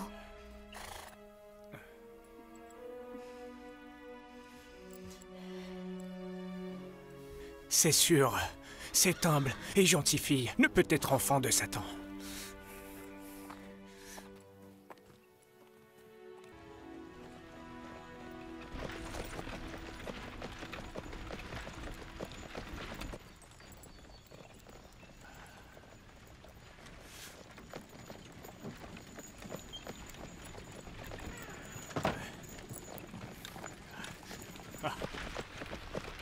Monsieur Sargent, Monsieur Robbins, quelle bonne surprise. Nous pensions que nous pourrions profiter de votre générosité et loger chez vous ce soir. J'ai prié pour que vous rencontriez Hélène Harmon et Dieu a répondu à mes prières. Venez, venez. La fille d'Harmon Elle est ici Elle est arrivée il y a quelques jours pour partager avec nous. Euh, Monsieur Robbins, euh, euh, nous avons oublié la visite chez votre ami malade. Oh, oui, euh, j'ai un ami, il est malade, et nous avions promis d'y aller. Mais vous ne pouvez pas entrer, juste pour faire connaissance. C'est impossible. Non, nous sommes désolés. Si vous ne pouvez rester, je pourrais emmener mademoiselle Harmon pour prier avec vous ce dimanche. Nous pourrions la conduire à Boston pour vous rencontrer. Nous ne permettrions Ah, pas. Non, non, non, non, mais oui, c'est, c'est vraiment une bonne idée. Oui, venez avec la euh, jeune Harmon à Boston. Nous la euh, rencontrerons dimanche. Bon voyage, mes frères Je dirais une prière de guérison pour votre ami.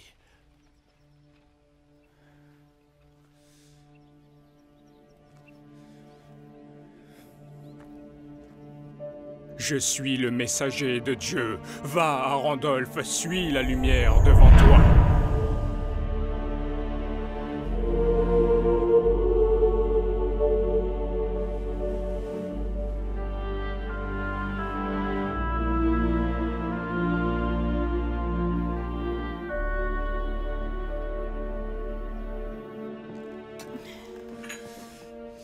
Bonjour, Hélène. As-tu bien dormi? Je... Eh bien, Qu'y a-t-il, ma chère? Dis-nous. nous sommes si reconnaissantes pour votre hospitalité. Je sais que vous pensez que nous devons aller à Boston. Mais on m'a demandé d'aller au village de Randolph. Mais il n'y a rien à Randolph pour vous, à moins que vous ne vouliez de nouvelles bottines en cuir.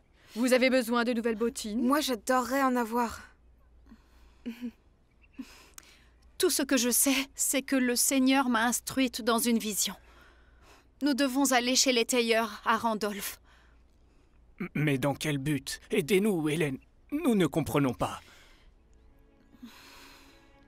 Moi non plus. J'ai juste assez de lumière pour la prochaine étape, c'est-à-dire pour aller jusqu'à Randolph. Hmm. Et Dieu m'a promis qu'une fois là-bas, il me révélera pourquoi.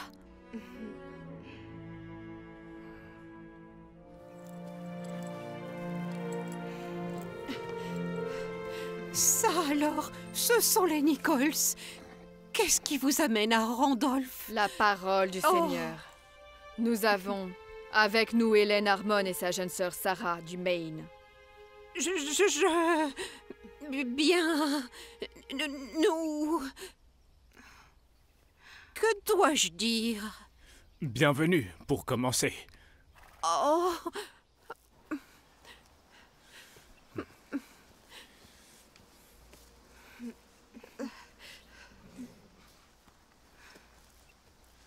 Mes frères et mes sœurs, notre Seigneur Jésus lui-même nous a prévenus.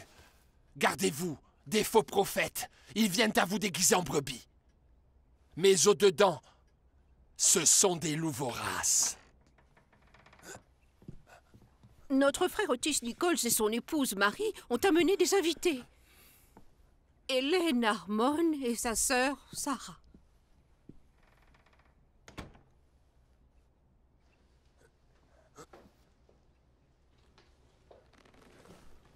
Je croyais qu'il voulait nous voir à Boston.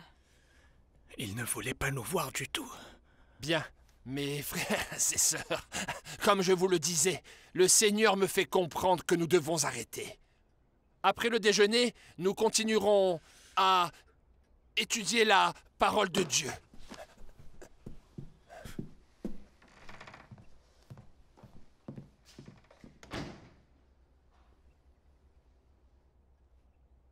Avant votre arrivée, ils ont beaucoup parlé de Mademoiselle Harmon. Ils disent que ces visions viennent de Satan. Hélène Harmon peut parler pour elle-même. C'est tellement déroutant. Je ne sais que croire. Monsieur Sargent dit qu'elle. qu'elle n'oserait pas avoir une vision en sa présence parce que c'est un homme intègre. Et Monsieur Sargent m'a dit il y a quelques jours d'emmener Hélène à Boston aujourd'hui pour que lui et Monsieur Robbins puissent la rencontrer. Et pourquoi êtes-vous à Randolph? Hélène a reçu des instructions de Dieu la nuit dernière. Oh, when shall I see Jesus and reign with him above, and shall hear the trumpet sound in that morning, and from the flowing fountain drink everlasting love, and shall hear the trumpet sound in that morning. Oh, shout glory, for I shall mount above the Gloire. skies when I hear the trumpet Gloire. sound in- Oh, quoi Gloire. Que dit-elle euh, euh, Chantons Oh, shout glory, for shall hear... Euh, Ne l'approchez pas Mais elle. Lisons la parole de Dieu. Tu n'auras point d'autre Dieu devant moi. Jésus, Tu ne te feras point d'image taillée ni de représentation quelconque des choses qui sont en haut dans les cieux, qui sont en bas sur la terre et qui sont dans les eaux plus bas que la terre. Tu ne te prosterneras point devant elles et tu ne les serviras point car Oh, moi taisez-vous, idiot Vous vous prosternez devant une idole. Attendez, mais vous ne voyez donc pas que vous adorez un J'ai entendu que les visions de Satan peuvent être arrêtées en plaçant une Bible sur la personne. Tiens, posez-la sur elle. Non, non. Très bien, c'est moi qui le ferai.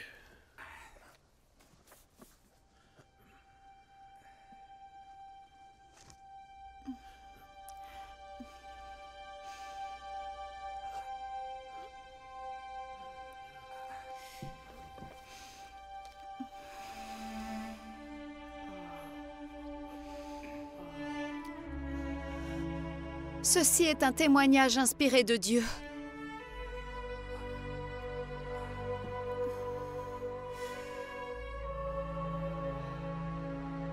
Et tu as changé mes lamentations en allégresse. Tu as délié mon sac et tu m'as ceint de joie. Oh.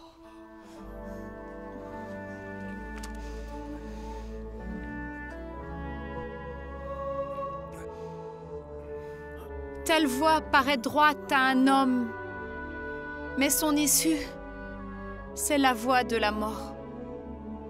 Elle récite les versets sans même les voir. Amen. Amen. Alléluia Amen.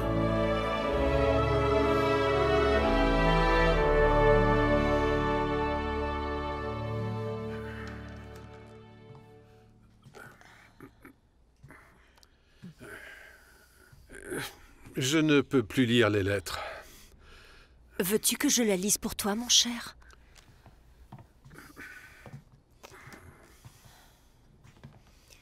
Frère Miller, bien que je vous sois étranger, j'ai souhaité vous écrire quelques mots. J'ai toujours cru que Dieu vous avait appelé pour prêcher le moment précis de la venue du Seigneur en 1844, et que cela devait juste être ainsi. Et que si le moment n'avait été ainsi annoncé, assurément l'Église et le monde n'auraient jamais pu être prévenus. Donc, je joins par la présente un extrait des visions d'Hélène Harmon de Portland. Je ne doute pas que ces visions viennent du paradis. Sœur Harmon réside dans notre maison familiale presque tout le temps depuis ces derniers huit mois. L'Esprit de Dieu est en elle et a été ressenti de façon remarquable. Je vous demanderai de mettre de côté les préjugés et de suspendre votre jugement tant que vous ne les aurez pas lus et comparés avec les Écritures et la vérité présente. Bien à vous dans l'attente du retour du Seigneur, Otis Nichols. Le frère Nichols semble sincère, mais ils s'accrochent tous au moindre espoir. La Bible dit que dans les derniers jours, certains d'entre nous recevront des visions du Seigneur. Bientôt nous verrons le visage souriant du Sauveur, ça j'en suis certaine.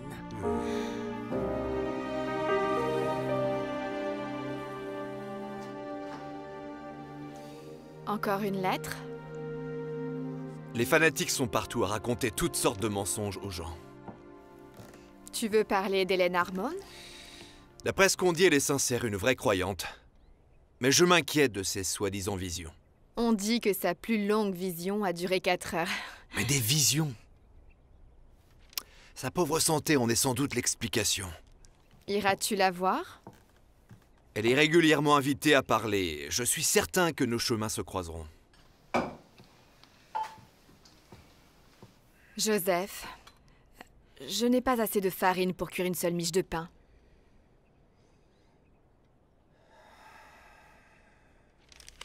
Combien t'en faut-il? Au moins 300 grammes.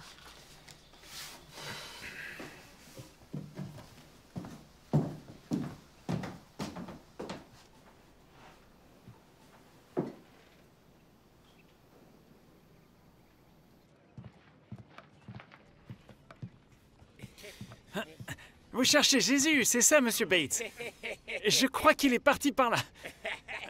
Non, attendez, plutôt par là.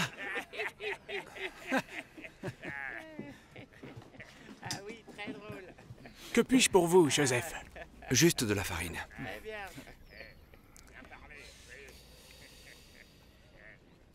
Ce que je peux avoir avec ça. Eh oui, c'est sûr. Il l'a bien cherché. Ça, c'est sûr. vraiment.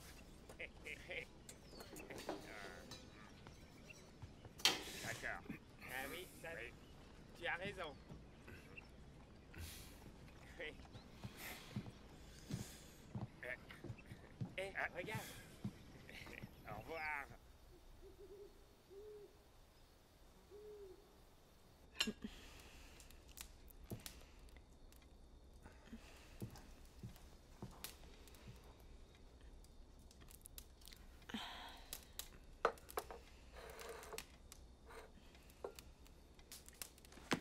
C'est notre souper?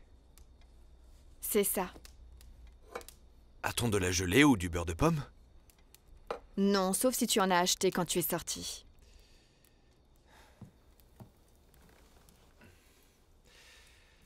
Prudy, j'ai dépensé la dernière pièce que j'avais pour acheter de la farine.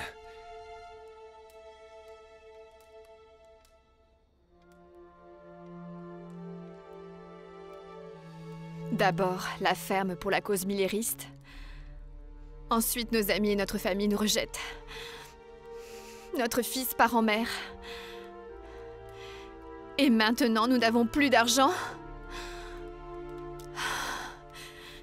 Combien de souffrances pouvons-nous encore endurer? Nous devrions prier. Le Seigneur nous aidera. Joseph, vraiment,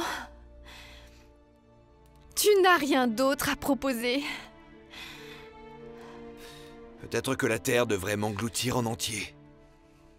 Est-ce pour cela que je dois prier?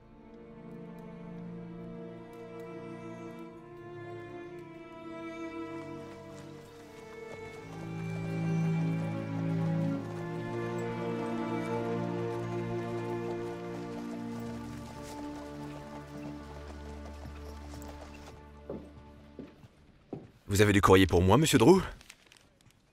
Oui, monsieur Bates. Il se trouve que j'en ai.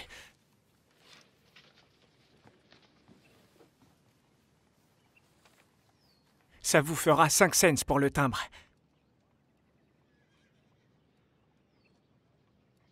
Mais... Je n'ai pas ça sur moi. Apportez-les-moi la prochaine fois. Ce serait mal, monsieur. Je n'ai pas 5 cents en ce moment.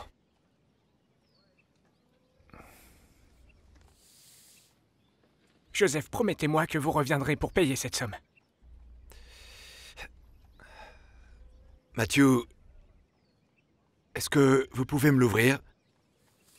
Je me sentirais un peu mieux.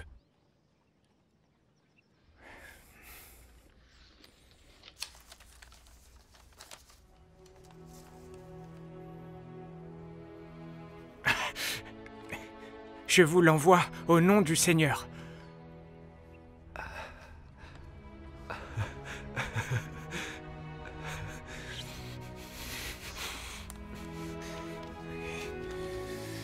Quand vous livrerez ça chez moi, ma femme dira certainement qu'il s'agit d'une erreur, mais ne l'écoutez pas.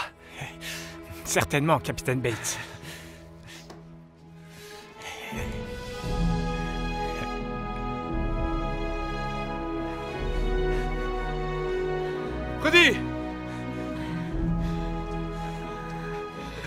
Joseph, c'est un miracle. Oui.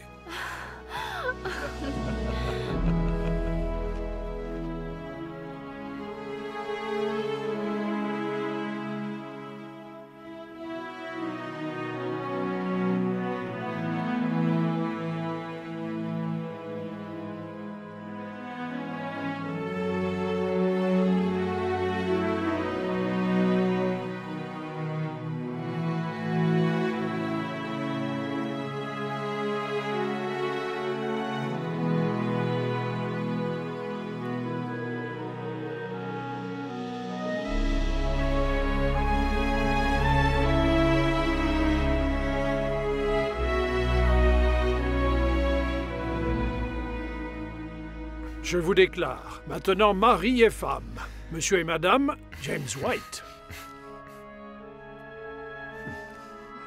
Félicitations. Merci. Hélène White. Je trouve que ça sonne bien, pas toi? Oui, c'est vrai. Ce nom te va très bien. Madame White.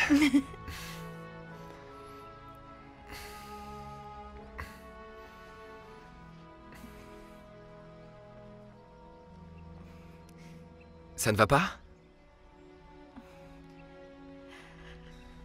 J'ai toujours cru que je me marierais à l'église.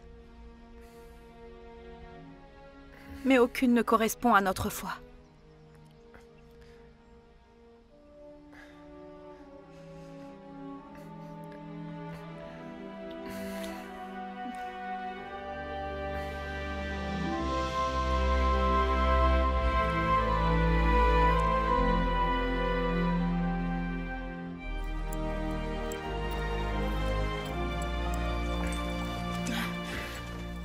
Que le frère Bates écrit me fend vraiment le cœur.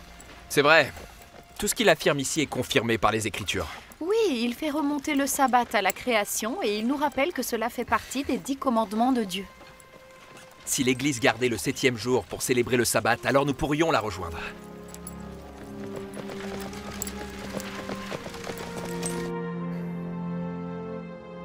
C'est vrai que lors des derniers jours avant le retour du Christ, le respect des commandements sera une vraie pierre de touche. Jean, dans l'Apocalypse chapitre 12, verset 17, décrit un peuple qui observe les commandements de Dieu et qui garde le témoignage de Jésus.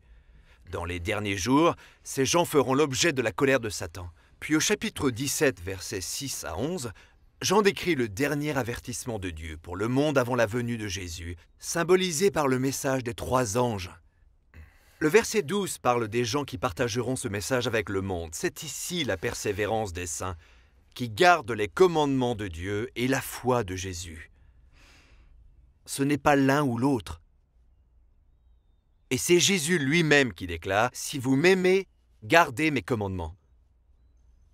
Merci. Dieu vous bénisse, mes frères. Merci, monsieur Bates. C'était tellement inspirant, frère Curtis. Nous sommes très heureux de vous avoir parmi nous avec votre époux, Sir White. Le Seigneur nous a montré la vérité à travers le message de Bates sur le sabbat. Gloire à Dieu.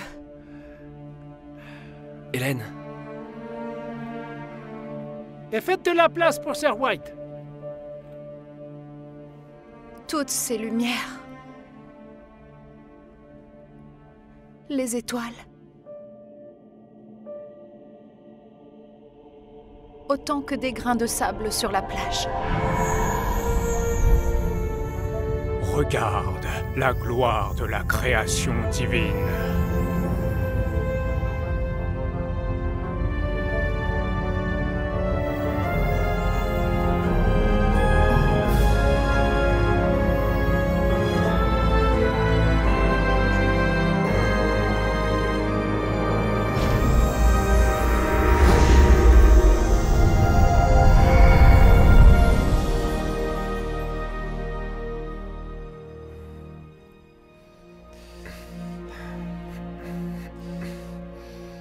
Va-t-elle Bien. Les visions ne l'affaiblissent pas. En fait, elle semble aller bien mieux. Ce qu'elle a dit tout à l'heure, sans bouger de la Nouvelle-Angleterre, il m'a fallu 20 ans en mer pour en apprendre la moitié. Vous étiez pourtant un de ses détracteurs. Plus maintenant, frère White. Elle n'avait aucun moyen de savoir tout ce qu'elle a dit sur les planètes et les étoiles, sauf si Dieu le lui avait dit. Vous pouvez me compter dans le camp de ses fervents défenseurs.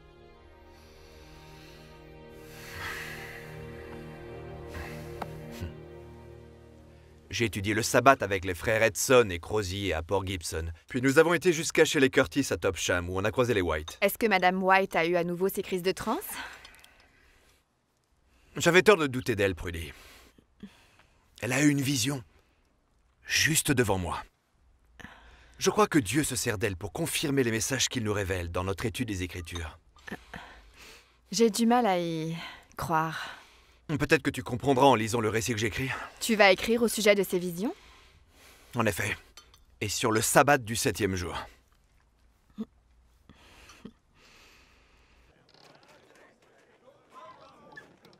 Tout ça, c'est la faute de Miller. Quelqu'un a vu William? Et dire qu'il a démarré cette folie. Ah, Il y a eu des lunatiques bien avant lui. Et il y en aura encore. Il est malade, je crois. Il ne quitte pas sa ferme. Je dirais bien une prière, mais ce serait hypocrite. Pourquoi ces milléristes déçus ne retournent-ils pas dans les églises d'où ils viennent Certains l'ont fait. Mais d'autres ne retourneraient pas même s'ils le pouvaient. Ils croient toujours que Jésus peut arriver à tout moment. Toujours à fixer des dates et à scruter le ciel, il paraît. Pauvre William, quel dommage, vraiment tout ce dur labeur pour ça. Au moins, lui et ce Himes avaient un mouvement organisé, je veux dire, c'est juste. Le désordre Il n'y a pas de direction, pas d'église. J'ai entendu parler d'une femme du Maine qui a des visions, et d'un capitaine qui organise des prières le samedi. Le samedi? Eh bien, laissez-moi vous dire, ce sera sans moi, messieurs.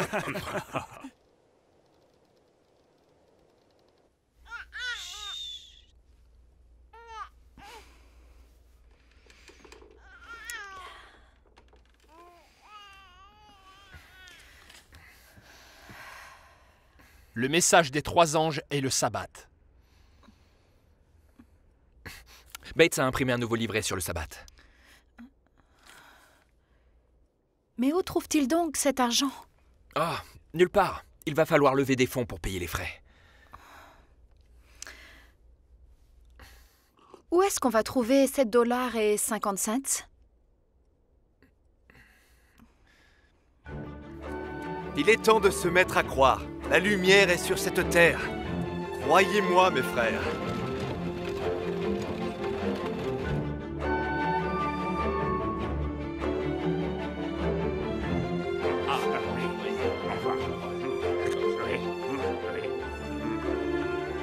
Amen. Amen. Oui, Amen. Nous travaillons tellement pour étudier la parole de Dieu et pourtant je ne comprends pas les écritures qui animent vos débats. Je me sens tellement extérieure à tout cela. Hélène, quand nous sommes dans une impasse, Dieu te donne une vision pour nous éclairer sur sa parole. Mais quand je n'ai pas de vision, on dirait juste que mon esprit n'arrive pas à comprendre les écritures. C'est peut-être une grâce. Peut-être que Dieu te protège pour que les gens ne puissent pas affirmer que l'on se fie à tes visions et non à la parole de Dieu. Nous avons assisté à trois réunions pour tenter de trouver la vérité. Devons-nous aller dans le Connecticut pour cette conférence chez les Belden? Je crois qu'on devrait y aller. Mais nous n'avons pas les moyens, James. J'ai coupé du bois, on devrait me payer bientôt, je devrais toucher 10 dollars pour ce travail. Je ne peux pas m'occuper de mon enfant et voyager, James. Impossible. Notre Père nous a confié ce travail, il ne nous laissera pas ni ne nous abandonnera.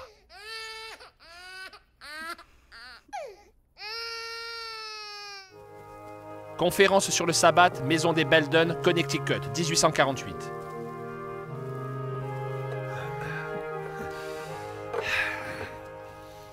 Nous avons eu des débats passionnés ce matin. Il faut garder l'esprit clair. Un grand nombre des signes du retour de Jésus décrits par Matthieu à ses disciples se réalisent en ces temps. C'est vrai. Et nous avons tellement progressé. Il y a quatre ans, qui aurait imaginé adorer l'Éternel le samedi? C'est vrai, on trouve un terrain d'entente quand on travaille tous ensemble. Nous suivons les commandements, non pas pour être sauvés, mais parce que nous sommes sauvés. Tout à fait. Comme Jésus l'a dit, si vous m'aimez, gardez mes... Et si vous m'aimez, vous attendrez que tout le monde soit prêt pour manger. Bates. Qu'est-ce qui se passe? Hélène et vous, vous avez beaucoup voyagé pour partager la parole divine, mais vous ne pouvez pas être partout. Et nous ne le voulons pas. Laisser notre fils quand nous voyageons est plus facile, mais nous avons le cœur lourd. Le Seigneur m'a montré un moyen pour atteindre les adventistes sans avoir à voyager aussi souvent. Nous devons créer un journal. Mais Bates pense qu'il faut travailler sur des livres et des essais, et non pas sur un journal. Frère Nicole, ce n'est pas un problème. Il n'y a pas de raison de se battre. Mon mari est disposé à lancer un journal, car les livres sont très souvent oubliés sur une étagère. Mais où va-t-on trouver les fonds pour ça? Eh bien, le journal sera modeste, au départ. Et quand les gens le liront, ils enverront des fonds pour nous aider à l'imprimer. Dieu m'a montré qu'après un début modeste, que ce journal sera lu dans le monde entier. La vérité.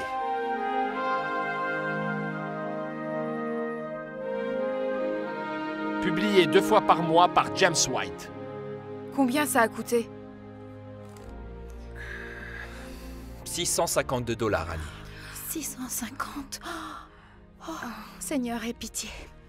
Ira Medson a tout payé Oui.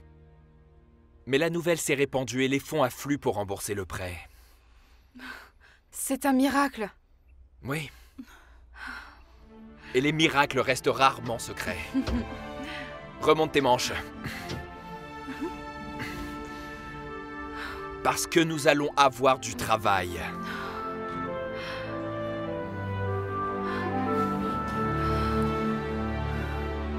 La revue adventiste et du sabbat.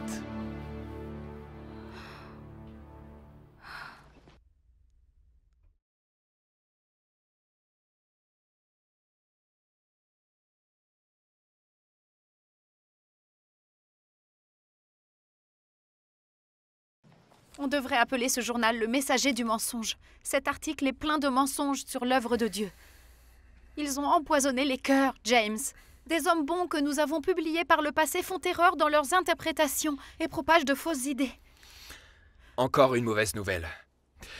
Dans le Wisconsin, la tente de conférence a disparu. Ce n'est pas possible. On ne peut rien faire.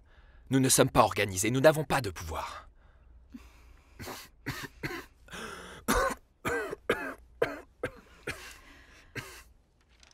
Il faut absolument que tu soignes cette toux. Encore une lettre de John Andrews et John Loughborough, c'est peut-être bien. Lila, ils sont tous épuisés. Le frère Andrews travaille la semaine pour gagner sa vie. Sa vue diminue, il n'a plus de voix à force de prêcher toutes les semaines. Et ce n'est pas le seul problème. Tu as quelque chose à me dire? Le propriétaire nous a écrit au sujet du loyer de l'an prochain. 14 dollars 50 cents par mois. Mais qu'est-ce qu'on va faire? Déménager Dans le Vermont? On parle aussi du Michigan. Tu serais prêt à partir dans l'Ouest? On y est déjà allé. Tu as même trouvé que les gens étaient agréables. Les frères de Battle Creek aimeraient s'occuper de la publication. Battle Creek? Ça ne fait pas très accueillant. Toute ta vie a été une bataille, non? Une telle ville doit être faite pour toi. Si tu le dis.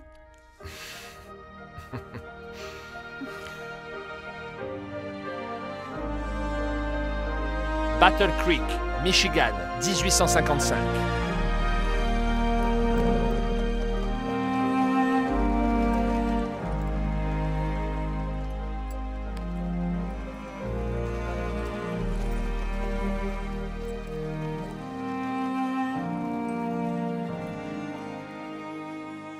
Les sœurs vont apporter des matelas, une table et deux chaises. L'immeuble en bas de la rue a plus de place. Pour que les garçons s'y amusent. La première maison de prière sera prête dans quelques semaines. Merci, Uria. Vous êtes une bénédiction pour nous. Avant que j'oublie, j'ai, j'ai emprunté de l'argent pour vous prendre des pains de sucre roux et deux sacs de blé. Nous vous rembourserons tout.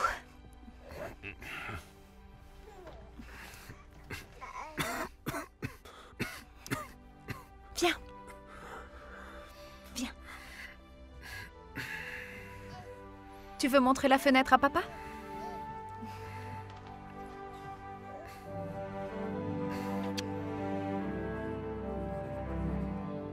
On accorde peu d'importance à la Bible. Et le Seigneur nous a donné une faible lueur pour guider les hommes et les femmes vers la grande lumière. La Bible. Je ne vous demande pas de répéter mes paroles. Laissez la sœur White de côté. Ne me citez pas si vous ne pouvez respecter la Bible. Je répète ces mots essentiels pour vous. Notre position et notre foi reposent sur la Bible.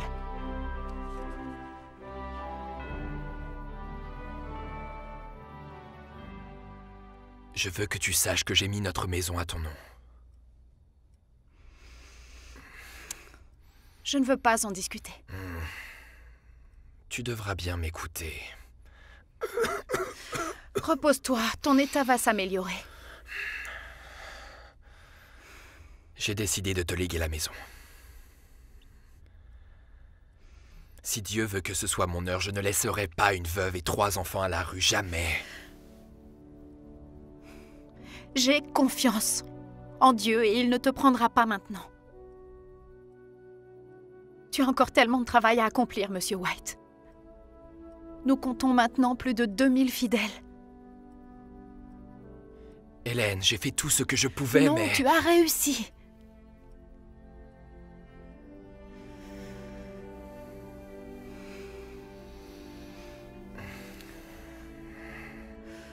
Il faut continuer à attendre le Seigneur.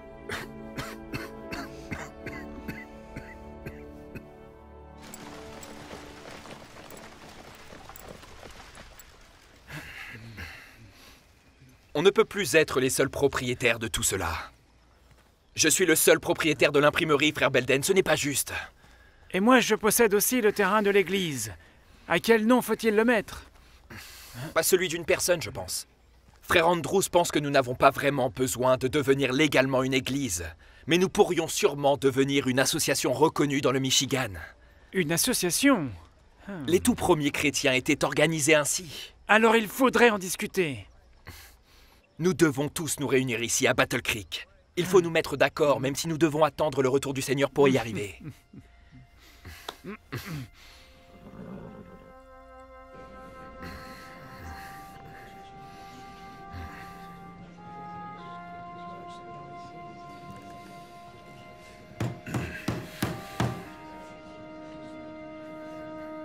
me donnez-vous mandat pour créer une association d'édition Oui. Messieurs, Ah oui. et selon la loi du Michigan, nous ne pouvons nous organiser légalement que si nous choisissons un nom. Frère Andrews a raison Je suis d'accord avec Frère Andrews. Attendez, messieurs.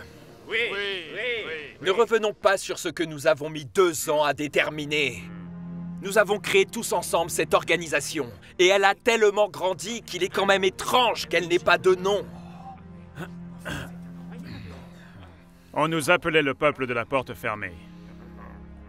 Car nous croyions que la porte du lieu saint était fermée, et la porte du lieu dit saint des saints au ciel était ouverte. Et si notre nom le reflétait? Ah,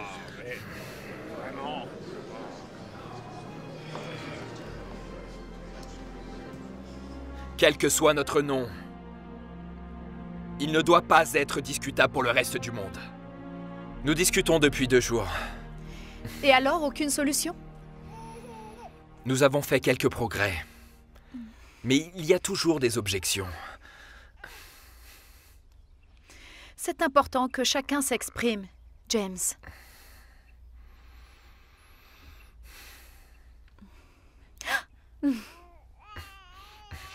Oui, John Herbert, surtout toi. Mhm. Notre quatrième fils est le plus bavard. Dieu sait d'où il tient ça.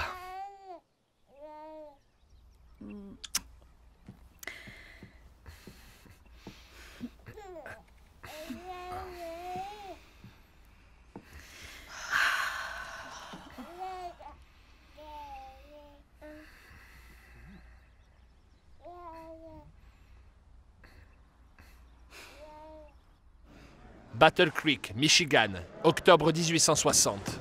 Messieurs, mes frères, écoutez-moi. Je propose d'appeler notre association l'Église de Dieu. D'autres utilisent déjà ce nom. Et ça fait un peu prétentieux, non? Oui, en effet.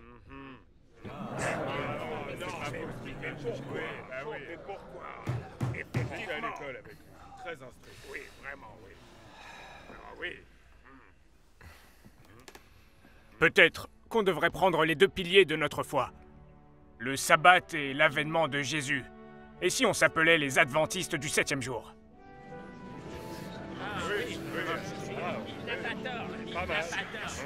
Tout le monde est d'accord? Je propose officiellement le nom des adventistes du septième jour. Oui, oui. Bien.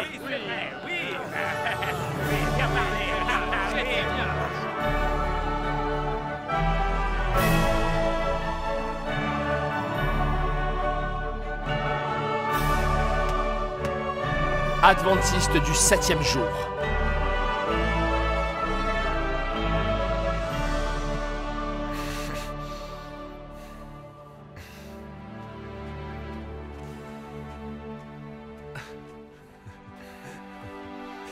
Qu'en pensez-vous Excellent, c'est un excellent choix. Ça va rester longtemps dans les mémoires. Le 14 décembre 1860. L'infection empire, je ne peux rien faire. Il faut prier. Notre pauvre enfant, il est brûlant.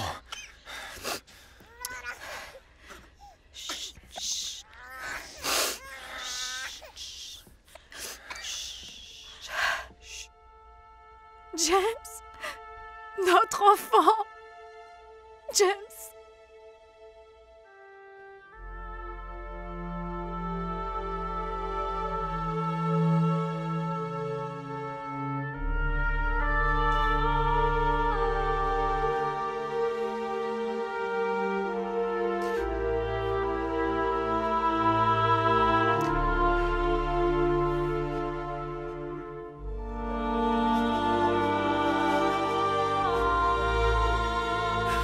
Le 12 janvier 1861. Il y a 29 jours. Nous avons perdu notre garçon John.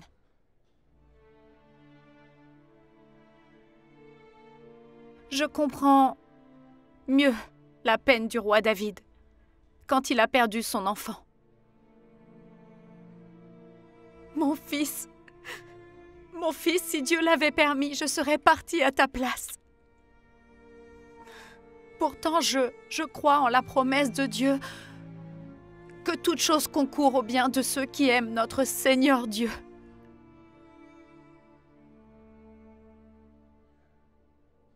Mais je viens à vous aujourd'hui, en ce 12 janvier 1861, pour vous dire que j'ai eu une vision et que d'autres États vont rejoindre la Caroline du Sud dans sa sécession, et qu'une guerre terrible en résultera malheureusement. J'ai vu des grandes armées, du nord et du sud. J'ai vu des batailles terribles et entendu le bruit du canon. J'ai vu des morts et des blessés de tous les côtés. J'ai aussi vu dans mes visions ceux qui ont perdu leurs frères, leurs fils et leurs époux dans cette guerre. Il y a des hommes et des femmes ici même qui vont perdre des êtres chers dans les jours à venir.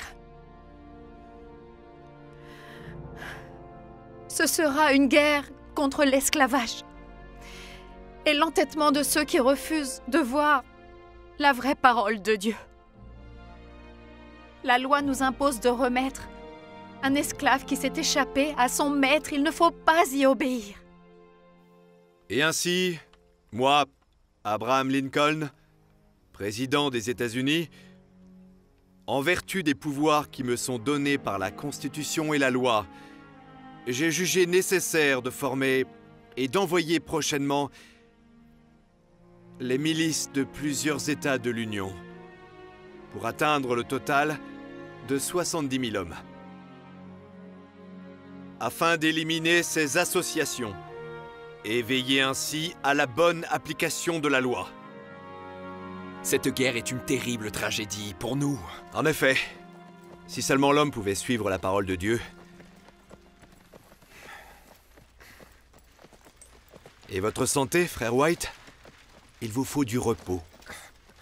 En ce jour, six fédérations locales ont voté pour une conférence générale avec John Byington comme premier président.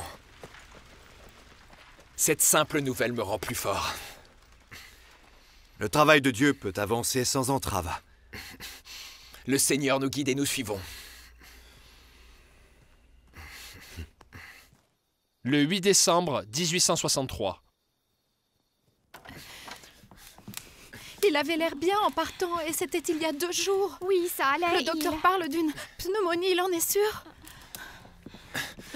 Maman, je suis là. Dieu merci, vous êtes là. Mon fils, je suis là.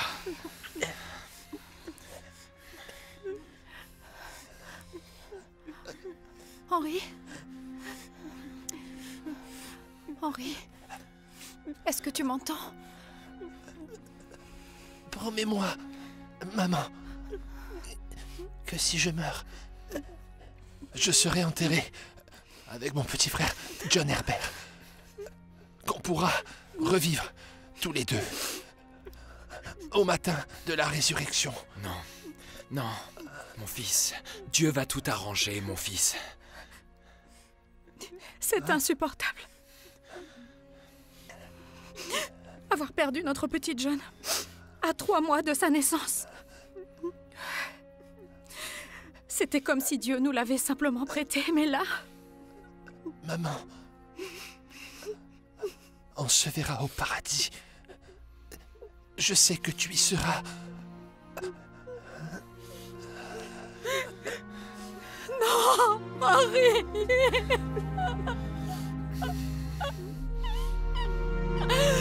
আমি আমি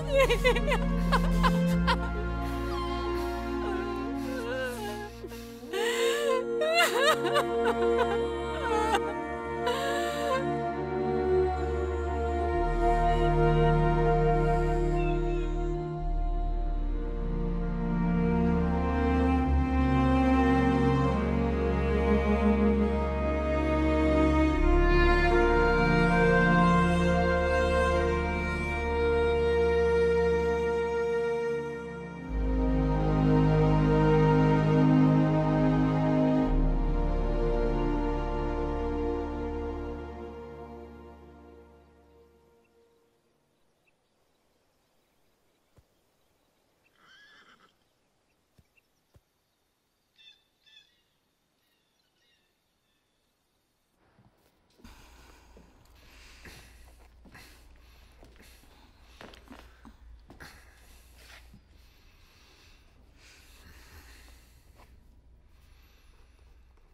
Tu écris encore? Tu es derrière ce bureau depuis des mois. Je comprends mieux si je mets mes idées par écrit.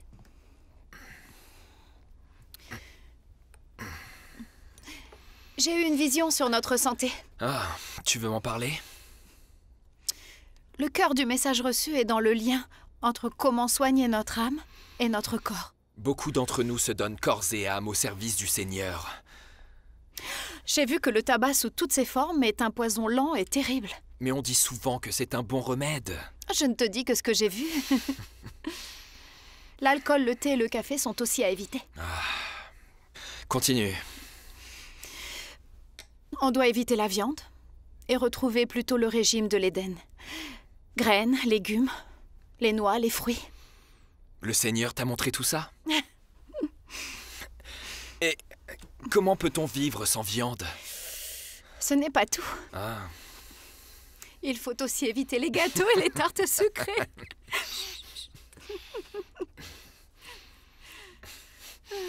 tu vas nous mettre les bouchers, les vendeurs de tabac, les saloons, ados et même les pâtissiers. Ce n'est pas fini. Notre corps a besoin d'eau fraîche, d'exercice et d'air pur. Notre santé est un sujet spirituel. J'ai vu qu'il était sacré de veiller sur sa propre santé, bien sûr, mais aussi d'apprendre aux autres à le faire.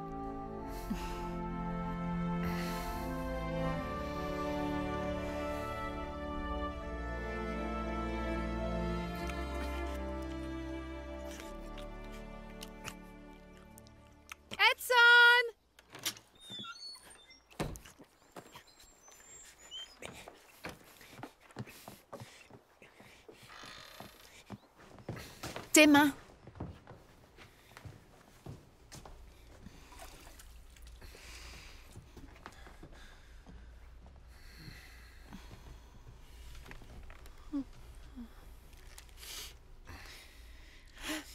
Notre Père céleste, nous te remercions de nous bénir avec cette nourriture et ces plats délicieux. En ton nom, nous te remercions. Amen. Amen.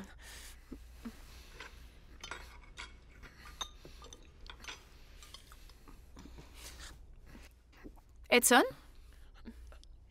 Tu ne manges pas? C'est qu'il s'est gavé de choses qu'il ne devrait pas manger. Écoute, Willy, arrête de chercher des ennuis à ton frère. Ce qui est le plus important, ce n'est pas les aliments. Il est très important de bien comprendre que notre corps est le temple de Dieu et qu'il faut le traiter comme tel. Tu comprends? Oui. Bien. Papa, tu me passes les oignons? James. James. James. Papa. James. Les garçons, il lui faut le docteur. James. Ah. James. Eh, eh, Je suis là, je suis là. James, regarde-moi. Votre époux a fait une autre attaque. Il va déjà bien mieux. Non, pas maintenant. Vous avez une paralysie faciale. C'est courant après ce type d'attaque.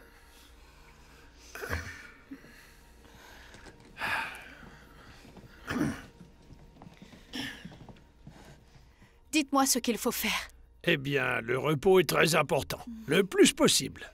Et enfin, je suggère des saignées. Faire des saignées Je ne crois pas que cela soit nécessaire. Le barbier de Main Street recevra mes instructions. Il a tout le matériel nécessaire pour les incisions.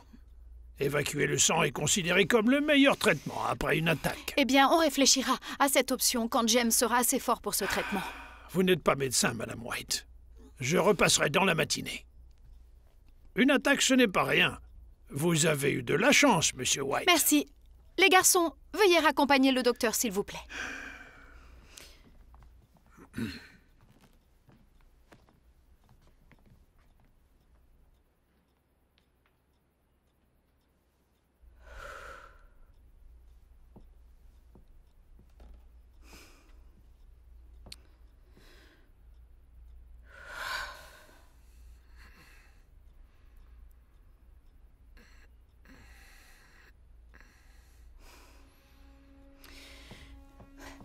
Je te rappelle que j'ai déjà enterré deux fils, Monsieur White, alors toi tu n'iras nulle part. Le Seigneur t'a privé de l'usage de ton côté droit pour s'en assurer. et il trouvera le moyen de t'aider à retrouver ta santé.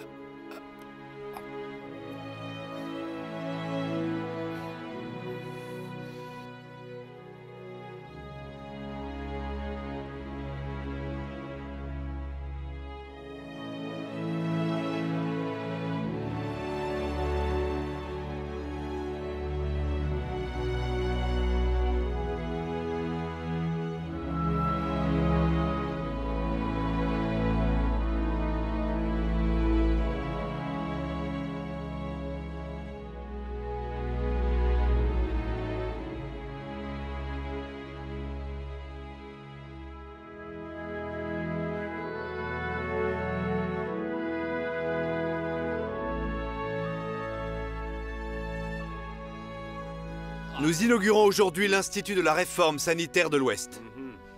Nous devons rechercher l'inspiration dans ce projet, dans les progrès réalisés par notre frère James. Sir White, pratiquons, voulez-vous, les principes que Dieu vous a montrés dans toutes ses visions. Nous avons beaucoup de travail. Désormais, les soins de santé seront une mission clé de notre Église.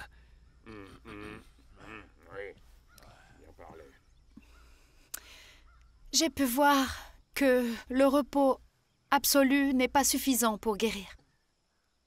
Cela doit aussi s'accompagner d'exercices d'un régime sain et de la foi en Dieu. Et beaucoup d'entre vous connaissent le rôle de l'eau.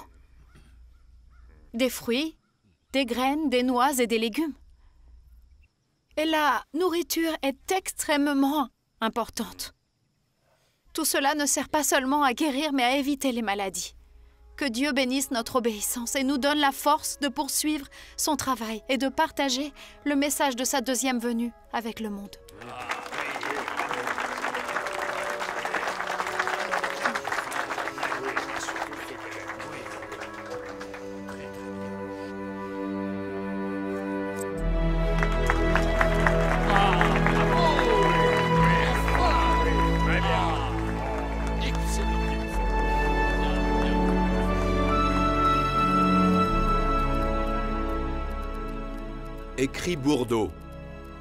B-O-U-R. D-E-A-U. Nos deux frères Lothborough et Bourdeau sont allés en Californie, mais où sont tous ceux prêts à dire Me voici, Seigneur, envoie-moi Ne rejetons pas ceux qui en ont besoin. L'éducation et la santé sont indissociables. Comment peut-on soigner le corps et laisser l'esprit en friche? Jésus a passé plus de temps à soigner qu'à prêcher. C'est vrai, oui. Il nous faut plus de main-d'œuvre. Oui. Nous devons former de jeunes hommes pour cela. Nos jeunes commencent à travailler après l'école primaire. On doit pouvoir leur offrir une meilleure éducation.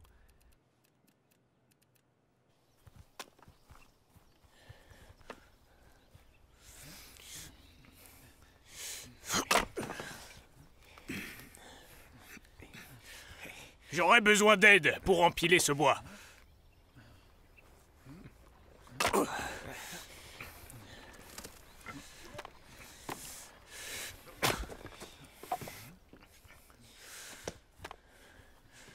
Merci, c'est gentil. Je suis Belle.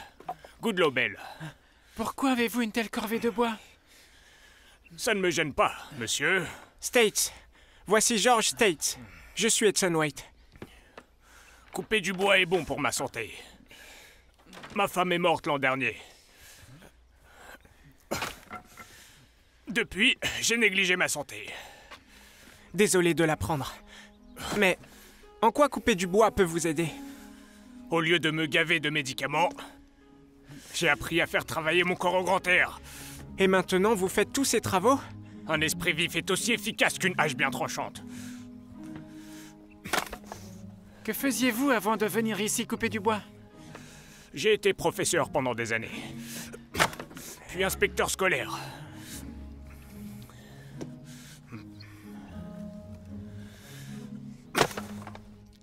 J'ai rencontré un homme intéressant à l'Institut l'autre jour. Il s'appelle Goodlow Bell. Je crois que je l'ai vu. Oui, il est arrivé en piteux état et à bout de nerfs. Il a coupé du bois pendant plus d'une heure. Oui, l'exercice et l'air pur font de vrais miracles pour la santé. Nous lui avons parlé un peu. Et avec Georges, on a une idée. Mhm. Pour couper du bois? Non, Willy, pour aller à l'école.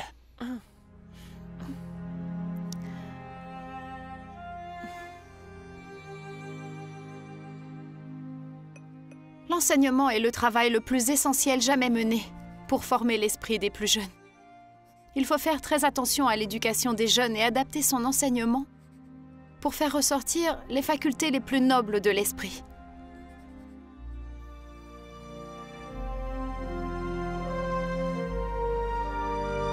Première école adventiste du septième jour, juin 1872. John Harvey Kellogg. William K. Kellogg. George States. Edson White. William White.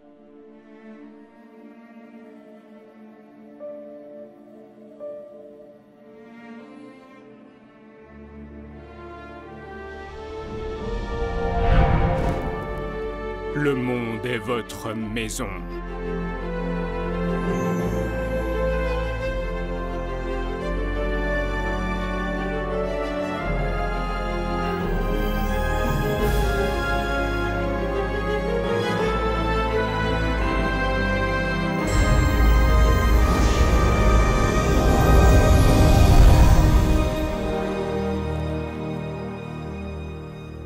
Cela fait deux ans que notre cher frère pionnier Joseph Bates nous a quittés. Et 30 ans que notre Dieu fait grandir ce peuple de pionniers. Dans mes toutes dernières visions, le messager de Dieu a dit Vous entretenez des idées bien trop étriquées pour cette époque. Le monde est votre maison. Nous avons dédié d'importantes ressources à la publication des signes des temps. Oui Qu'est-ce qu'on va faire pour l'imprimerie Pacifique On aurait envoyé les frères Loveborough et Bourdeau en Californie pour si cher. Tout ça juste pour les envoyer ailleurs. D'où va venir l'argent Ah oui, oui, ah oui, exactement. Complètement, complètement, oui. Oui, Il a raison. Nos ressources sont sûrement mieux employées ici, chez nous. Oui, votre maison, c'est le monde. Nous devons poursuivre nos efforts pour que chacun ait une opportunité de recevoir la vraie parole. Le message que nous portons est un message universel. Il va être diffusé jusque dans l'Oregon, en Europe, en Australie, à travers les océans, dans toutes les langues, pour tous les peuples. Non, mais c'est pas possible d'entendre ça. Silence oui. Comment douter de cette mission? Des âmes se perdent, mais on peut les sauver. Frère Andrew, je propose que nous parlions de cela lors de la conférence générale en août. Il faut soumettre au vote l'expansion dans d'autres pays.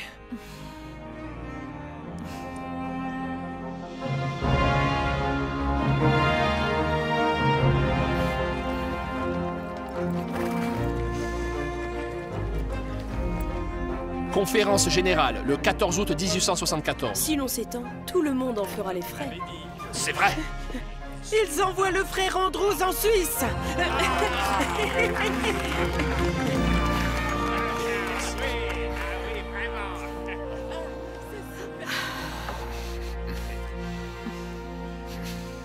Oui Allons-y Une aventure sur l'océan.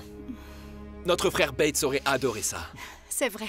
Nous savons très bien que le Seigneur sera notre guide. Eh bien, bon voyage, frère Andrews. Toutes nos prières vous accompagnent. Attention. Allez.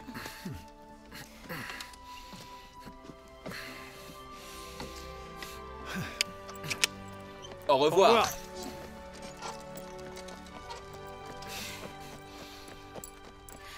Il va répandre la bonne nouvelle du retour du Christ en Europe. Et nous devons le dire au monde entier.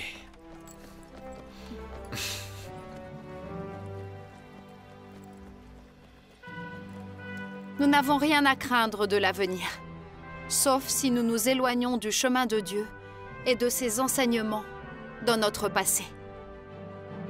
En 1874, l'église adventiste du 7e jour comptait environ 7500 membres, presque tous dans le nord-est des États-Unis. Après la mort de James en 1881, Ellen White a beaucoup voyagé pour développer l'église adventiste aux États-Unis, en Europe, en Australie et en Nouvelle-Zélande. Elle a écrit de nombreux articles et magazines, ainsi que 24 livres publiés avant sa mort en 1915. Elle est devenue l'une des femmes les plus publiées et traduites dans le monde.